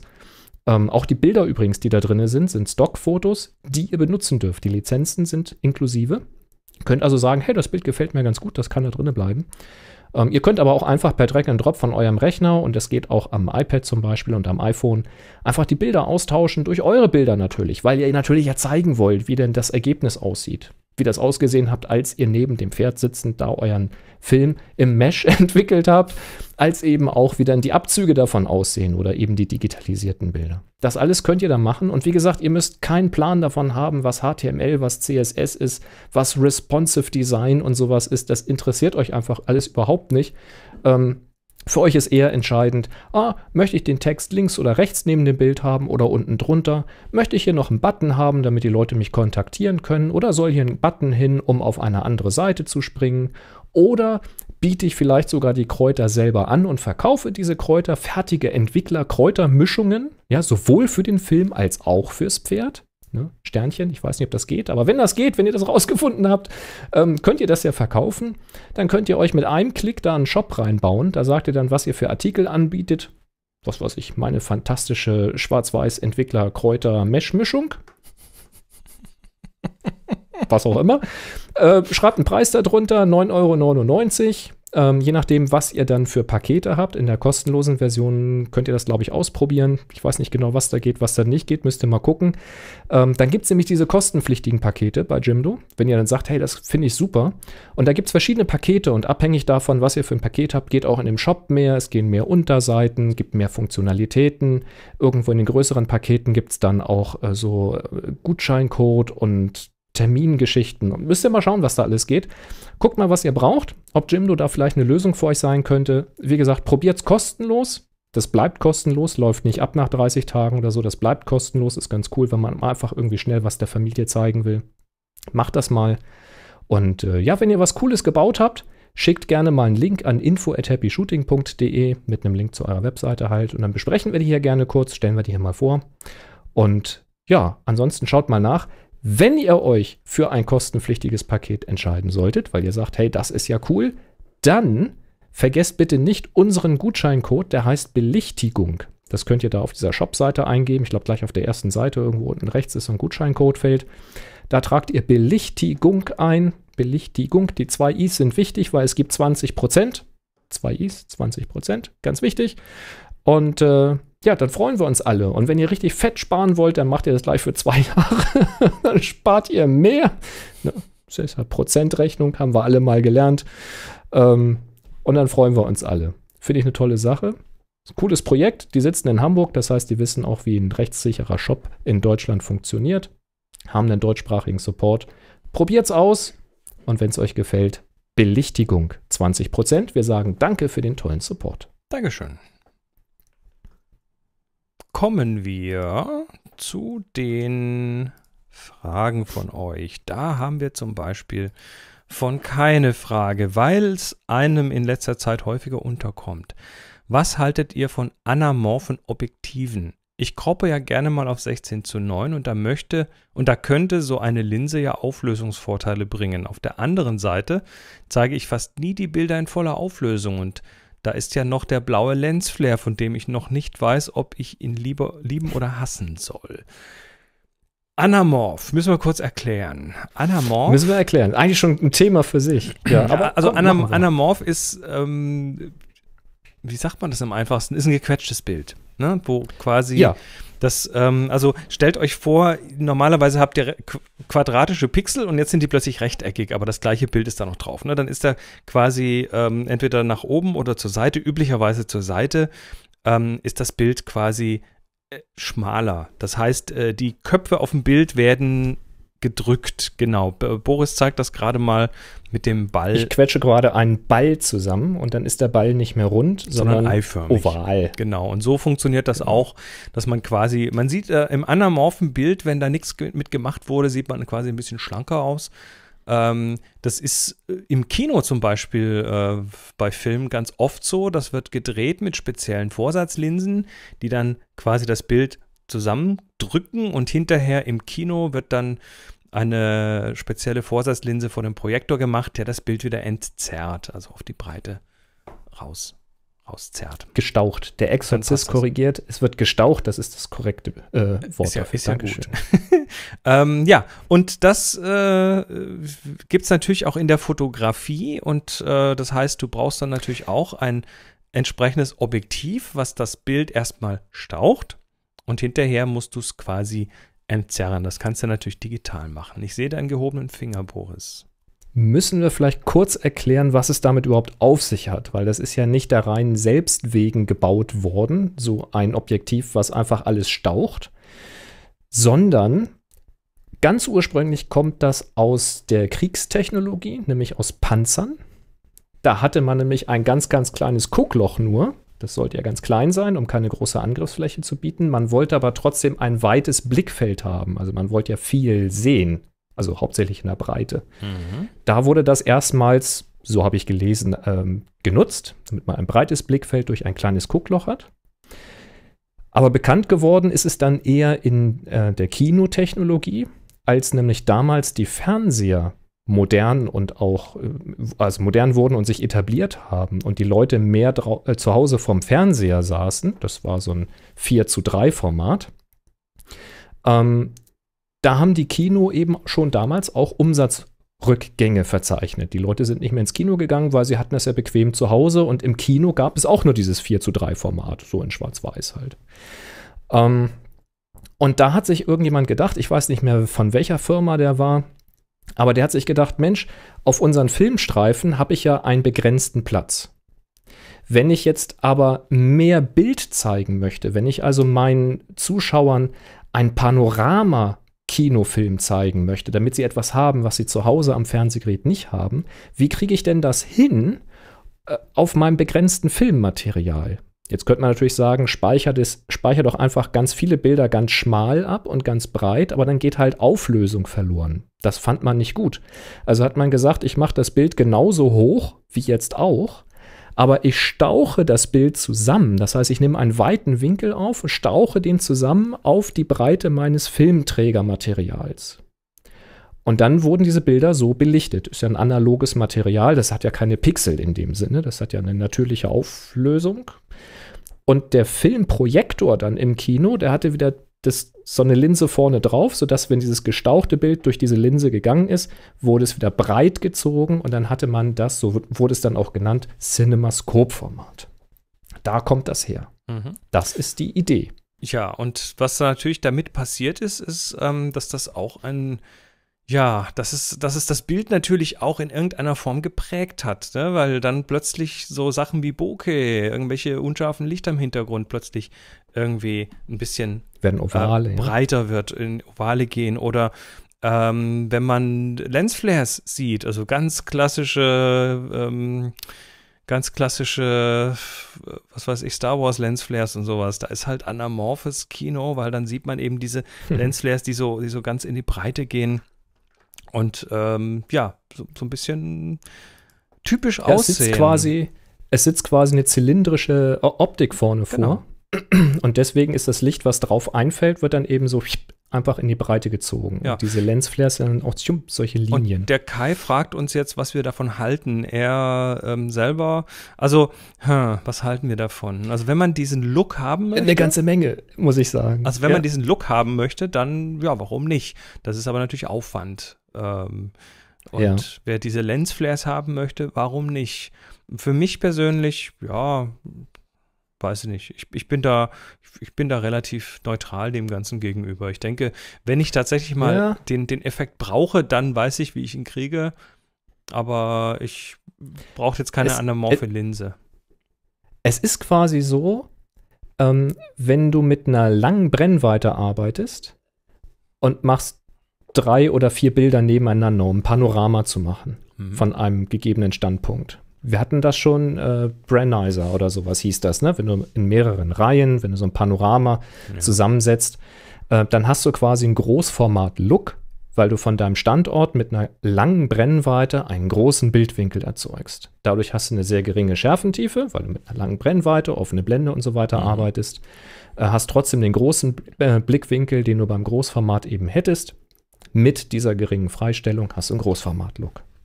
Und das ist im Grunde genommen das, was du mit dieser anamorphen Optik erreichst. Du erreichst nämlich mit einer langen Brennweite einen horizontalen großen Bildwinkel. Das heißt, du filmst permanenten Panorama. Und das heißt eben, und das macht diesen, das ist dieser Kino-Look. Das heißt, du hast eine Nahaufnahme von einer Person ohne dass du verzerrte Gesichtszüge oder dicke Knollennasen oder sowas hast, weil du hast eben deinen gewissen Abstand dazu, du hast also deine, deine Perspektive, du hast die Nahaufnahme, weil du zum Beispiel mit einem 100 mm arbeitest, mhm. du hast aber trotzdem ein weites Blickfeld. Das heißt, du hast die Kombination von beiden, zumindest in der horizontalen. Und das ist ein ganz bestimmter Look. Wenn du halt das gleiche erreichen willst mit einem normalen Objektiv, vom selben Standpunkt, weil du dieselbe Perspektive haben willst, also Verhältnis Vordergrund zu Hintergrund, da müsstest du von diesem Standpunkt aus mit einem Weitwinkel arbeiten, also mit einem weiteren Winkel arbeiten. Und das führt wieder zu einer geringeren Freistellung. Außer du kompensierst das mit noch offenerer Blende, was aber dann irgendwann auch mal schwierig wird. Und dann könntest du einfach oben und unten abschneiden, dann hättest du dasselbe. Ähm, also mal abgesehen von diesen Lensflare-Effekten und den anderen Verzeichnungen, die man mögen kann, aber nicht muss. Ähm, das ist so das Ding. Aber wenn du halt wirklich so einen weiten, einen weiten Blick haben willst oder Raum für dein Motiv haben willst, aber trotzdem die Perspektive haben willst, die du eben mit einem ja, 100 mm, 75 mm irgendwie erreichen kannst, dann ist das halt die perfekte Lösung. Das ist schon, mhm. Das ist schon cool. Und du hast natürlich in der horizontalen eine andere Schärfentiefe als in der vertikalen. Nee, hast du nicht. Na, Schärfentiefe nee, ist. Schärfentiefe nicht, aber, aber sie, wird, sie wird eben verbreitert die, in der horizontalen. Die Schärfentiefe ist, äh, ist, ist die gleiche. Ah, nee, die wird du hast halt eine unterschiedliche Auflösung. Ja, ja, das ist okay. Ja, nee, das ist alles gut. Du, alles hast, gut. du hast eine unterschiedliche Auflösung. Das, das ist nämlich das Problem. Ja. Also, wenn du halt, ähm, wenn du ganz normal, sagen wir mal, in deinem Smartphone oder auch in der Kamera äh, in HD, also Full HD filmst, ne, 1920 mal 1080, 9, 16 zu 9, mhm. und du croppst einfach oben und unten weg, dann verlierst du die Pixel oben und unten, aber die Breite bleibt ja 1920. Mhm. Alles gut. Wenn du als Ziel diese Ausgabe hast, also eine 1920er Breite, wenn das dein Ausgabeziel ist und du machst das anamorphic, dann müsstest du oben und unten nicht abschneiden, sondern du müsstest wieder quetschen, also das Bild oben und unten zusammenstauchen. Damit gewinnst du in der, äh, in der vertikalen einen höheren Schärfeeindruck, weil die mehreren Pixel da miteinander verrechnet werden, aber du hast 1920. Eigentlich wäre aber das Ziel zu sagen, du nimmst gestaucht auf, hast die volle Au äh, Höhe, also die vertikale Auflösung von äh, 1080 und dann ziehst du das Bild wieder auseinander, sodass du auf irgendwas 2100 paar zerquetschte kommst. Dann hast du halt eine breitere Aufnahme ohne schwarze Balken oben und unten, aber du hast eben mehr Pixel horizontal. Hast du aber nicht, weil dadurch, dass du es auseinandergezogen hast, die originale Aufnahme ist ja 1920. Ja. Dadurch, dass du es auseinanderziehst, muss ja interpoliert werden. Das heißt, es wird was dazu erfunden. Das heißt, horizontal wird das Bild dann in diesem Fall eher ein bisschen weicher. Ob man das sieht hinterher, sah mal dahingestellt. Ähm, und dann gibt es natürlich die Experten, die sagen, du, ah, du pass auf, ich drehe das in 4K anamorphic, entzerre das und rechne das dann eh runter auf Full HD und dann hast du eh gewonnen. Ja, Mai. Also Pixelpiepen würde ich damit nicht mit dieser Technologie, aber ich habe bisher so viele ähm, Demos davon gesehen, auch mit dem Smartphone. Da gibt es von ähm, Momentum heißen die, glaube ich gibt so eine anamorphe Vorsatzlinse für Smartphone. Ähm, und sogar für, für die Drohne hier, für die DJI gibt es das, ich glaube auch von Momentum. Und das sieht wirklich, also das hat was. Und äh, ich habe da nicht gesehen, dass irgendwelche Pixel irgendwie verschwommen wären oder so. Also alles gut. Du bist übrigens wieder stumm. Oh Mist, ich vergesse immer drauf zu klicken. Jetzt bin ich nicht mehr stumm. Ähm, kommen wir Yay. noch zur Frage von Alex, der fragt äh, was zum Thema Nummerierung von Bildern in der Kamera. Meine Sony oh ja. fängt immer nach 9999 wieder bei Null an. Gibt es da eine Möglichkeit, ein Endlosnummernverfahren zu aktivieren? Ist das bei allen Kameraherstellern so? Also, es gibt verschiedene Einstellungen bei den verschiedenen Kameras. Da kann man entweder sagen fortlaufend und dann wird halt bis zu einer Zahl, die der Kamerahersteller definiert hat, quasi gesagt, bis dahin zählen wir und dann fangen wir wieder bei Null an. Oder es gibt die, äh, die Nummerierung, die immer wieder von Null anfängt, wenn man die Karte also rausgenommen hat. Stimmt. Ne, und wieder reintut. Macht Canon zum Beispiel, wenn man das möchte. Ähm, ansonsten macht Canon, glaube ich, guckt, glaube ich, auf der Karte nach, was das letzte Bild ist und nimmt dann die drauffolgende Nummer oder sowas in der Richtung. Aber mir ist das relativ wurscht persönlich. Das Hm? Kann nicht sein. Also auch wenn ich eine leere Karte reinstecke, wird trotzdem weitergezählt. Es gab's mal. Das, Das, merkt zwar, er sich es, intern. es gab es mal, ähm, und das weiß ich genau, dass es das mal gab, und zwar war das mal die Frage, wenn ich aus der einen Karte die Kamera, die, aus der einen Kamera die Karte in die andere Kamera tue, plötzlich ist die Bildnummer bei der anderen Kamera verstellt gewesen. Also irgendwo wird da was auf der Karte Ah, ja, abgelegt. Das, das kann sein, um dann eine Doublette zu vermeiden, dass er dann bei einer fremden Karte die höchste Nummer nimmt. Ob sie das heute noch kann so sein. machen oder wie auch immer, ist, ich habe kein, überhaupt keine Ahnung, weil wenn ich Bilder importiere, dann äh, mache ich da eine Umbenennung. Das heißt, in Lightroom lässt sich ja, das kann man das Bild, die Bild, den Bildnamen, also den Dateinamen umbenennen lassen. Und was ich Ja. da mache, ist, ähm, ich habe eine Kombination aus Datum und äh, Bildnummer. Ne? IMG unterstrich. Bei mir kommt auch immer ein 23, Datum davor. und da packe ich das Datum, und zwar vorne dran packe ich das Datum, und zwar in einem Format, nach Mhm. dem ich leicht suchen kann und, und sortieren kann. Weil äh, A, habe ich damit dann tatsächlich eindeutige Bildnamen, selbst wenn der nach Zähler mal irgendwann umschlägt oder vielleicht wieder so ein komisches Ding mit einer anderen Karte passiert. Und zweitens, äh, für den ganz abwegigen Fall, dass mein Lightroom stirbt und die Da- Datenbank weg ist und ich dringend irgendwelche RAWs suchen muss, ähm, dann kann ich immer noch nach diesem Kriterium Datum gehen. Und äh, das kann ich zwar eigentlich immer, weil ich die auch in entsprechende Unterordner einsortieren lasse, Jahr, Unterordner Monat, Unterordner Tag, aber es ist einfach nochmal so ein Zusatzding, was eh automatisch passiert und wo ich nicht mehr dran denken muss. Und dann haben die halt entsprechend längere Dateinamen, aber da ist dann das Datum und ich glaube sogar die Uhrzeit mit drin kodiert. Und dann reicht das.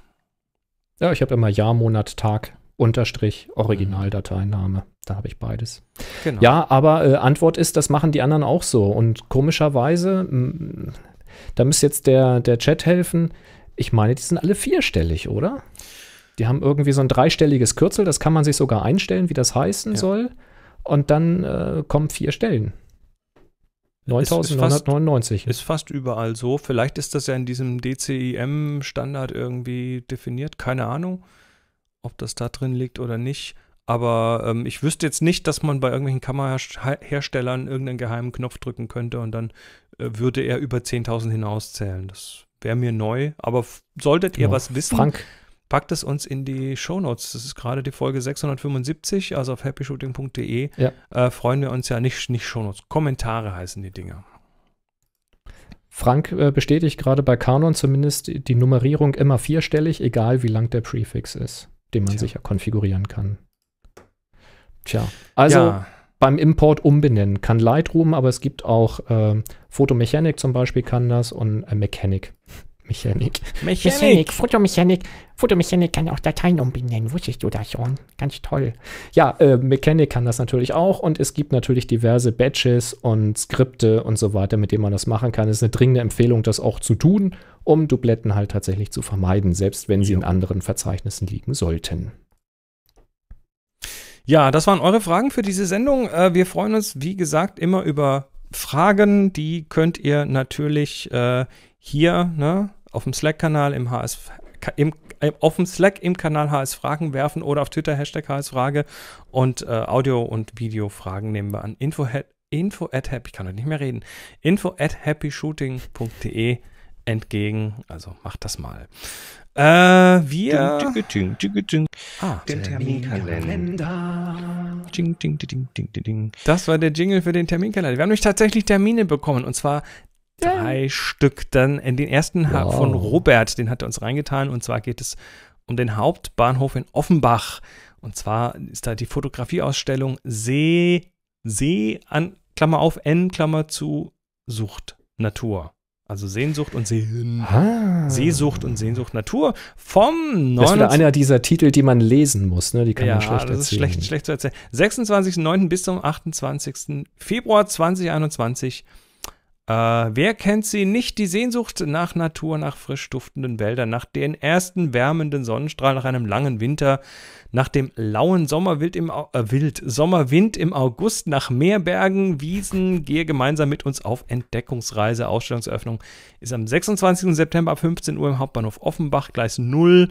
Weitere Termine auf der Webseite. Bitte Mund-Nasenschutz mitbringen, denn es gelten die jeweils gültigen Hygienevorschriften. Das also von Robert. Äh, dann von Stefan The Incredible World of Photography im Kunstmuseum Basel vom 18.07.2020 bis zum 4.10.2020. Das Kunstmuseum Basel in der Schweiz zeigt die Sammlung von Ruth und Peter Herzog. Die Bestände der Sammlung stammen aus der Frühzeit der 1839 erfundenen Technik und reichen bis in die 1970er Jahre. Also die haben wohl eine schöne Sammlung zusammengetragen. Sie decken damit die gesamte Geschichte der analogen Fotografie und all ihre Entwicklungen und Materialien, den Platten, Emulsionen, Chemikalien, Papieren und Apparaten ab. Das Ganze, wie gesagt, im Kunstmuseum Basel. Auch da natürlich von unserer Seite der Hinweis, äh, bitte auf die entsprechenden Hygienevorschriften achten. Und der dritte Termin, den hat uns Birgit eingetragen. Das Ganze ist in der Volkshochschule in Velbert oder Velbert, äh, Velbert, Velbert Heiligenhaus. Die 32. Fotoclub-Ausstellung mit dem Thema Stillleben. Das ist so mit so einem Unterstrich dazwischen, äh, vom 6.8. bis zum 31.12.2020. Der Fotoclub der VHS Velbert Heiligenhaus hat das Thema Stillleben aufgegriffen und mit fotografischen Stilmitteln faszinierend in die heutige Zeit versetzt. Was daraus wurde, zeigen die Mitglieder des Fotoclubs im Rahmen ihrer großen, alle zwei Jahre stattfindenden Ausstellung. Aus Corona-Gründen ist der Zugang nicht wie geplant seit März 2020, sondern erst ab dem 6.8.2020 möglich. Also drei Termine in unserem Terminkalender und wir freuen uns natürlich immer toll, wenn ihr hier Termine reinwerft. Macht das also bitte auf happyshooting.de slash Terminkalender. Da könnt ihr Termine loswerden und äh, die landen dann im Terminkalender. Dort könnt ihr danach suchen und äh, ja, das ist der, An der Anlaufpunkt dafür happyshooting.de slash Terminkalender. Herzlichen Dank. Das ist, das ist schön. Ich mag das immer total gern. Sehr schön. Ja. Was ich auch gern mag, ist einen Gewinner zu ermitteln. Ey. Wir haben nämlich eine Aufgabe aufzulösen. Das ist die Verspätung Aufgabe. Und wir verlosen, Chris, du hast den noch da, den Pixel Pocket Rocket für SD-Karten. Geiles Teil. Korrekt. Jetzt lass mich mal hier die entsprechenden Seiten aufmachen. Ähm, ich ich, ich mache heute übrigens keine Tischkamera, weil das war mir viel zu viel Stress. Sie müssen mir vertrauen. Übrigens, unser zweiter, unser zweiter äh, Link da, der ähm, ist gleich der erste Link äh, des Workflow. Nee, nicht draufklicken, sondern. Copy-Paste machen. Dann geht's. Ja, ja. Das Ja, ja. ist äh, unser Workflow hat da gerade irgendwie ein Parsing-Problem. Macht nix. So tut das. Hier sind die Bilder. Ähm, nee, hier sind die Bilder so. Äh, warum nur 15 Bilder? Hallo? Es gibt hier Dinge zu gewinnen. Also, das müssen wir aber beim, beim, beim nächsten Aufgabe müssen wir ein paar mehr mitmachen. Könnte mehr werden. ja, ja. Schon. Auch wenn Corona ist, man kann alleine raus und Fotos machen. Das geht, genau. Das geht sogar sehr, sehr gut. Ähm, ja, wir werden erstmal äh, würfeln. Warte mal. Ich muss ja meine.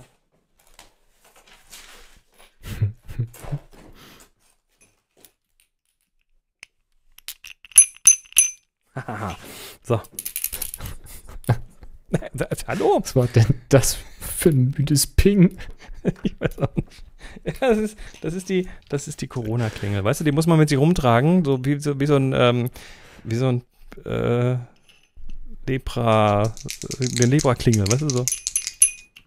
Jetzt lass uns mal loslegen. Wir haben 15 So, Bilder auszuwürfeln. ich fange diesmal an. Pass auf jetzt hier. Wisst ihr, wenn ihr mehr mitmacht, dann wird auch das Würfeln, geht das schneller, weil dann sind die Chancen größer. Die, 99. Das ist quasi die toll. höchste Nummer, Ich hab wenn eine man acht, die ich hab 0 eine als acht, ich 0 hab eine acht. interpretiert. Ich habe eine 8. Was? 0, 0 und 8, ja. Ich habe eine 8. Siehst du? So schnell kann es gehen. Das hat sich ja gelohnt. Äh, von Deep String Titel ist. Äh, lass mich kurz suchen. Oh, heute ist aber das Netz schnell. Ich mach's gerade mal auf. Von Bernd. Das Ah, okay. Ich, ich gucke, ich gucke, ich gucke. Was ist denn? hier? Mehrstöckiges Gebäude zum geplanten Fertigstellungszeitpunkt. Und warum ist das jetzt nicht hier in der Gruppe? Ist das überhaupt der richtige Link? Herr Nienke. Das ist der richtige Link. Das ist der richtige Link. Äh, ich bin jetzt verwirrt, weil ich das hier nicht finde in dem. Ich sag ja, Gruppenlink. Workflowy kann das. Bist du eingeloggt in Flickr? Ist da Hast du die HGFs gelesen? Ah, warte mal, warte mal, warte mal. Das ist jetzt toll. Das ist toller Podcast, den wir hier machen. ja. Ja, du lachst. Ach du. Ja, es ist mit Flickr und den Links manchmal nicht so ganz. Und jetzt so und jetzt ist. Flickr wieder nicht, es lädt's wieder nicht, weil also was ist denn heute los? Ach ja, manchmal hängt es ein bisschen. ähm, ich kann ja mal beschreiben, dass das ein Schwarz-Weiß-Bild Genau. ist. Bernhard hat auf jeden Fall gewonnen. Das ist ein sehr verbogenes Bild. Das hier müsste aber der richtige Link sein. Ah, es sind immer noch Nee, 15. irgendwie- Ja, jetzt haben wir sie. Jetzt haben wir sie. Das war nämlich gerade eine andere Geschichte, hat aber komischerweise auch 15 Resultate gebracht. Also hier seht ihr jetzt die Bilder und hier seht ihr das Gewinnerbild. Da sind wir. Ich kann aus Safari nicht mal den kompletten Link kopieren. Keine Ahnung, warum nicht. Ja, schauen wir uns mal das Bild an. Es ist ein schwarz-weißes Bild. Es ist ein, äh, sieht sehr HDRig aus, wenn man sich so mal den, den Ja. Himmel und die Kontraste anschaut. Und es ist ein äh, verbogenes Bild. Und das ist also irgendwie aus mehreren zusammengestitcht worden. Man sieht auch vorne links noch an dem Geländer so ein Stitching-Artefakt. Ne? Hier so, da äh, läuft das nicht so ganz glatt ineinander rein. Was, was bei, bei Panoramas aus der Hand durchaus passieren kann, vor allem bei Dingen, die näher sind. Panoramen, bitte. So viel Zeit muss sein. Panoramii. So, jetzt. ähm, Panorame. ja, was ist es? Es ist ein Foto von einer Baustelle, oder? Sehe ich das richtig? Ja, ganz genau. So eine Somit- Baustelle schreibt er ja, mehrstöckiges Gebäude zum Zeitpunkt des Fertigstellungstermins. Das heißt, das ist eine Aufnahme zu dem Zeitpunkt, wo das mehrstöckige Gebäude fertig sein sollte. Ich würde aber mit Da ist aber nichts fertig. Willen sagen, das ist das Fundament, dass die da Bodenplatte mal zu erkennen ist. Ja, ist. genau. Ja. Das ist, ähm, was ist denn da? Hm. Na gut, ich, ist halt die Frage, warum ist das delayed worden? Vielleicht liegt das am, am Corona oder sonst was, weiß man ja nicht. Vielleicht hat der Ähm, Fotograf einfach so lange gebraucht, die Kamera einzustellen. also, Das, oder äh, vielleicht ist das ein frühes Bild nicht. von BER oder so.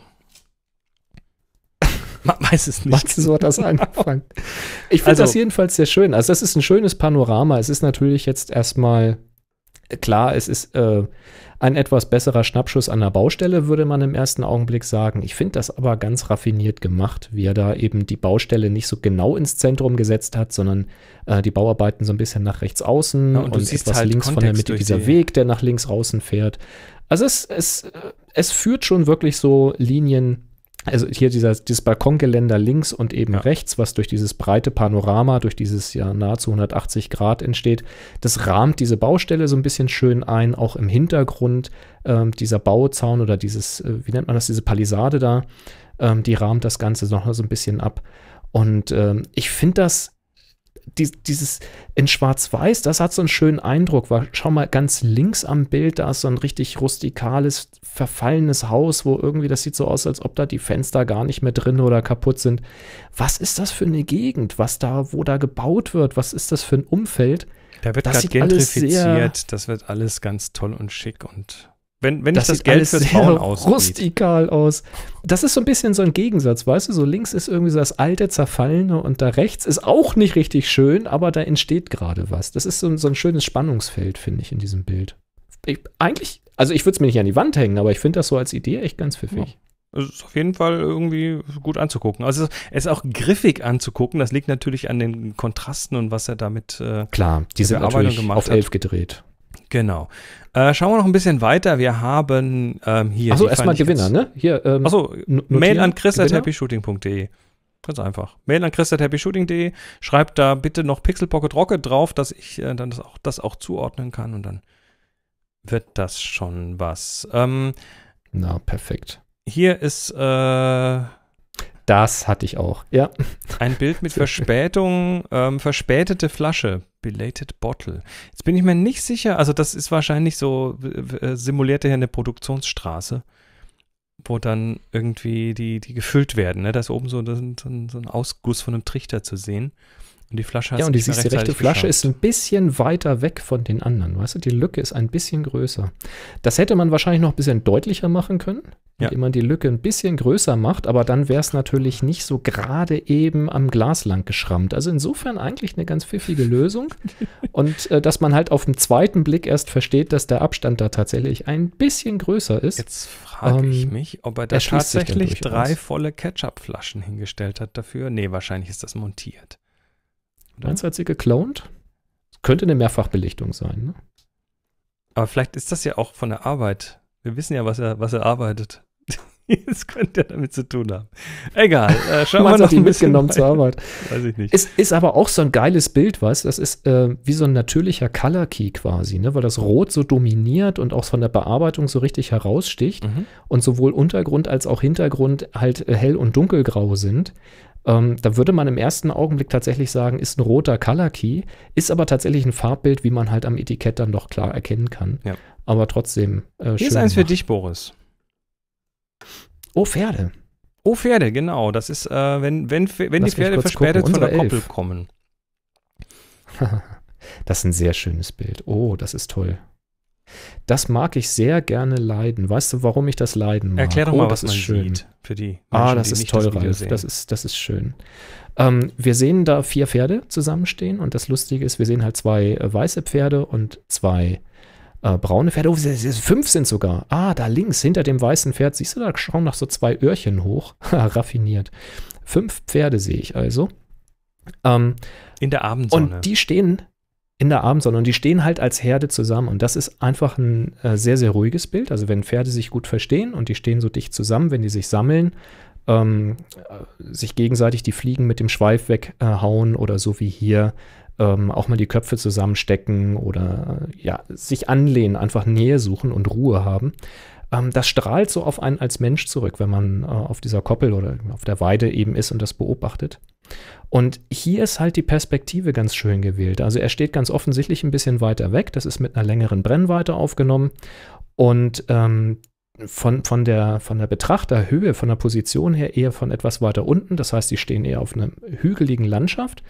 Und das führt dazu, dass quasi die Weide ja so richtig comicartig ähm, einen glatten, fast zweidimensionalen Boden vor dem Wolkenhintergrund bildet in dem Abendlicht.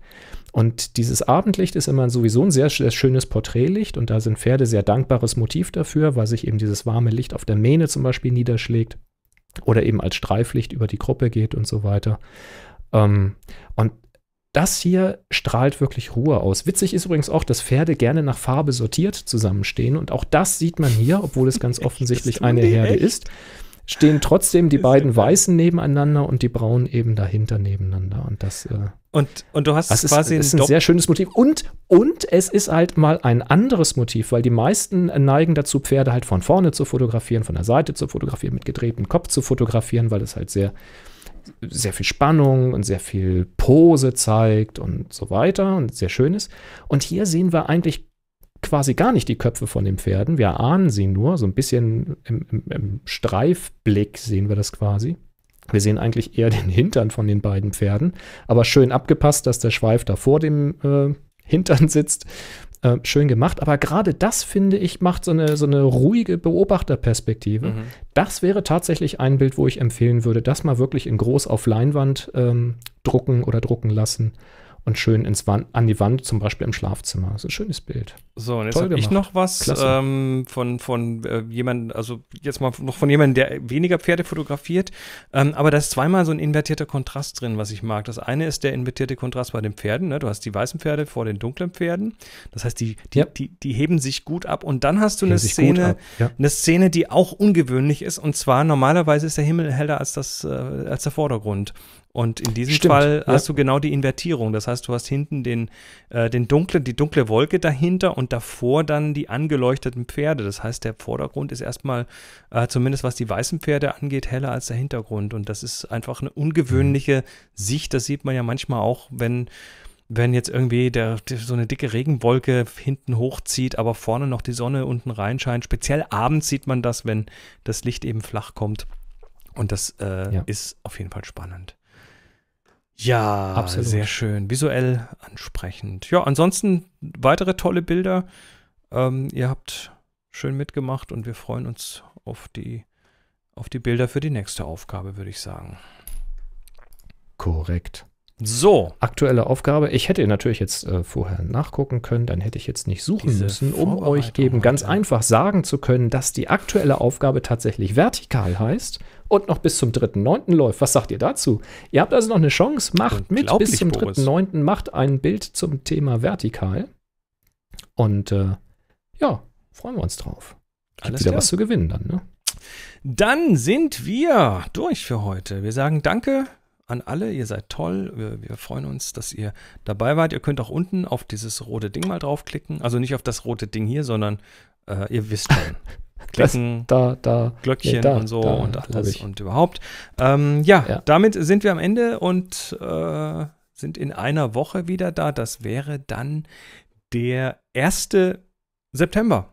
Abends ab 18 Uhr wieder hier live auf dem Stream, im Video und im Audio. Und äh, ja, vielleicht hört und sieht man sich. Ja, bis dann macht's gut. 3, 2, 1. Happy Shooting. Happy Shooting. Jetzt habe ich gar nicht mitgezählt. Sowas Bescheuertes. Das ist eh nie in Sync, weißt du? Ja, das äh, hier bei mir dann vielleicht schon, wenn ich We zählen are würde. out of sync. Sync, sync, sync. Ja, dann What ich. do you think? What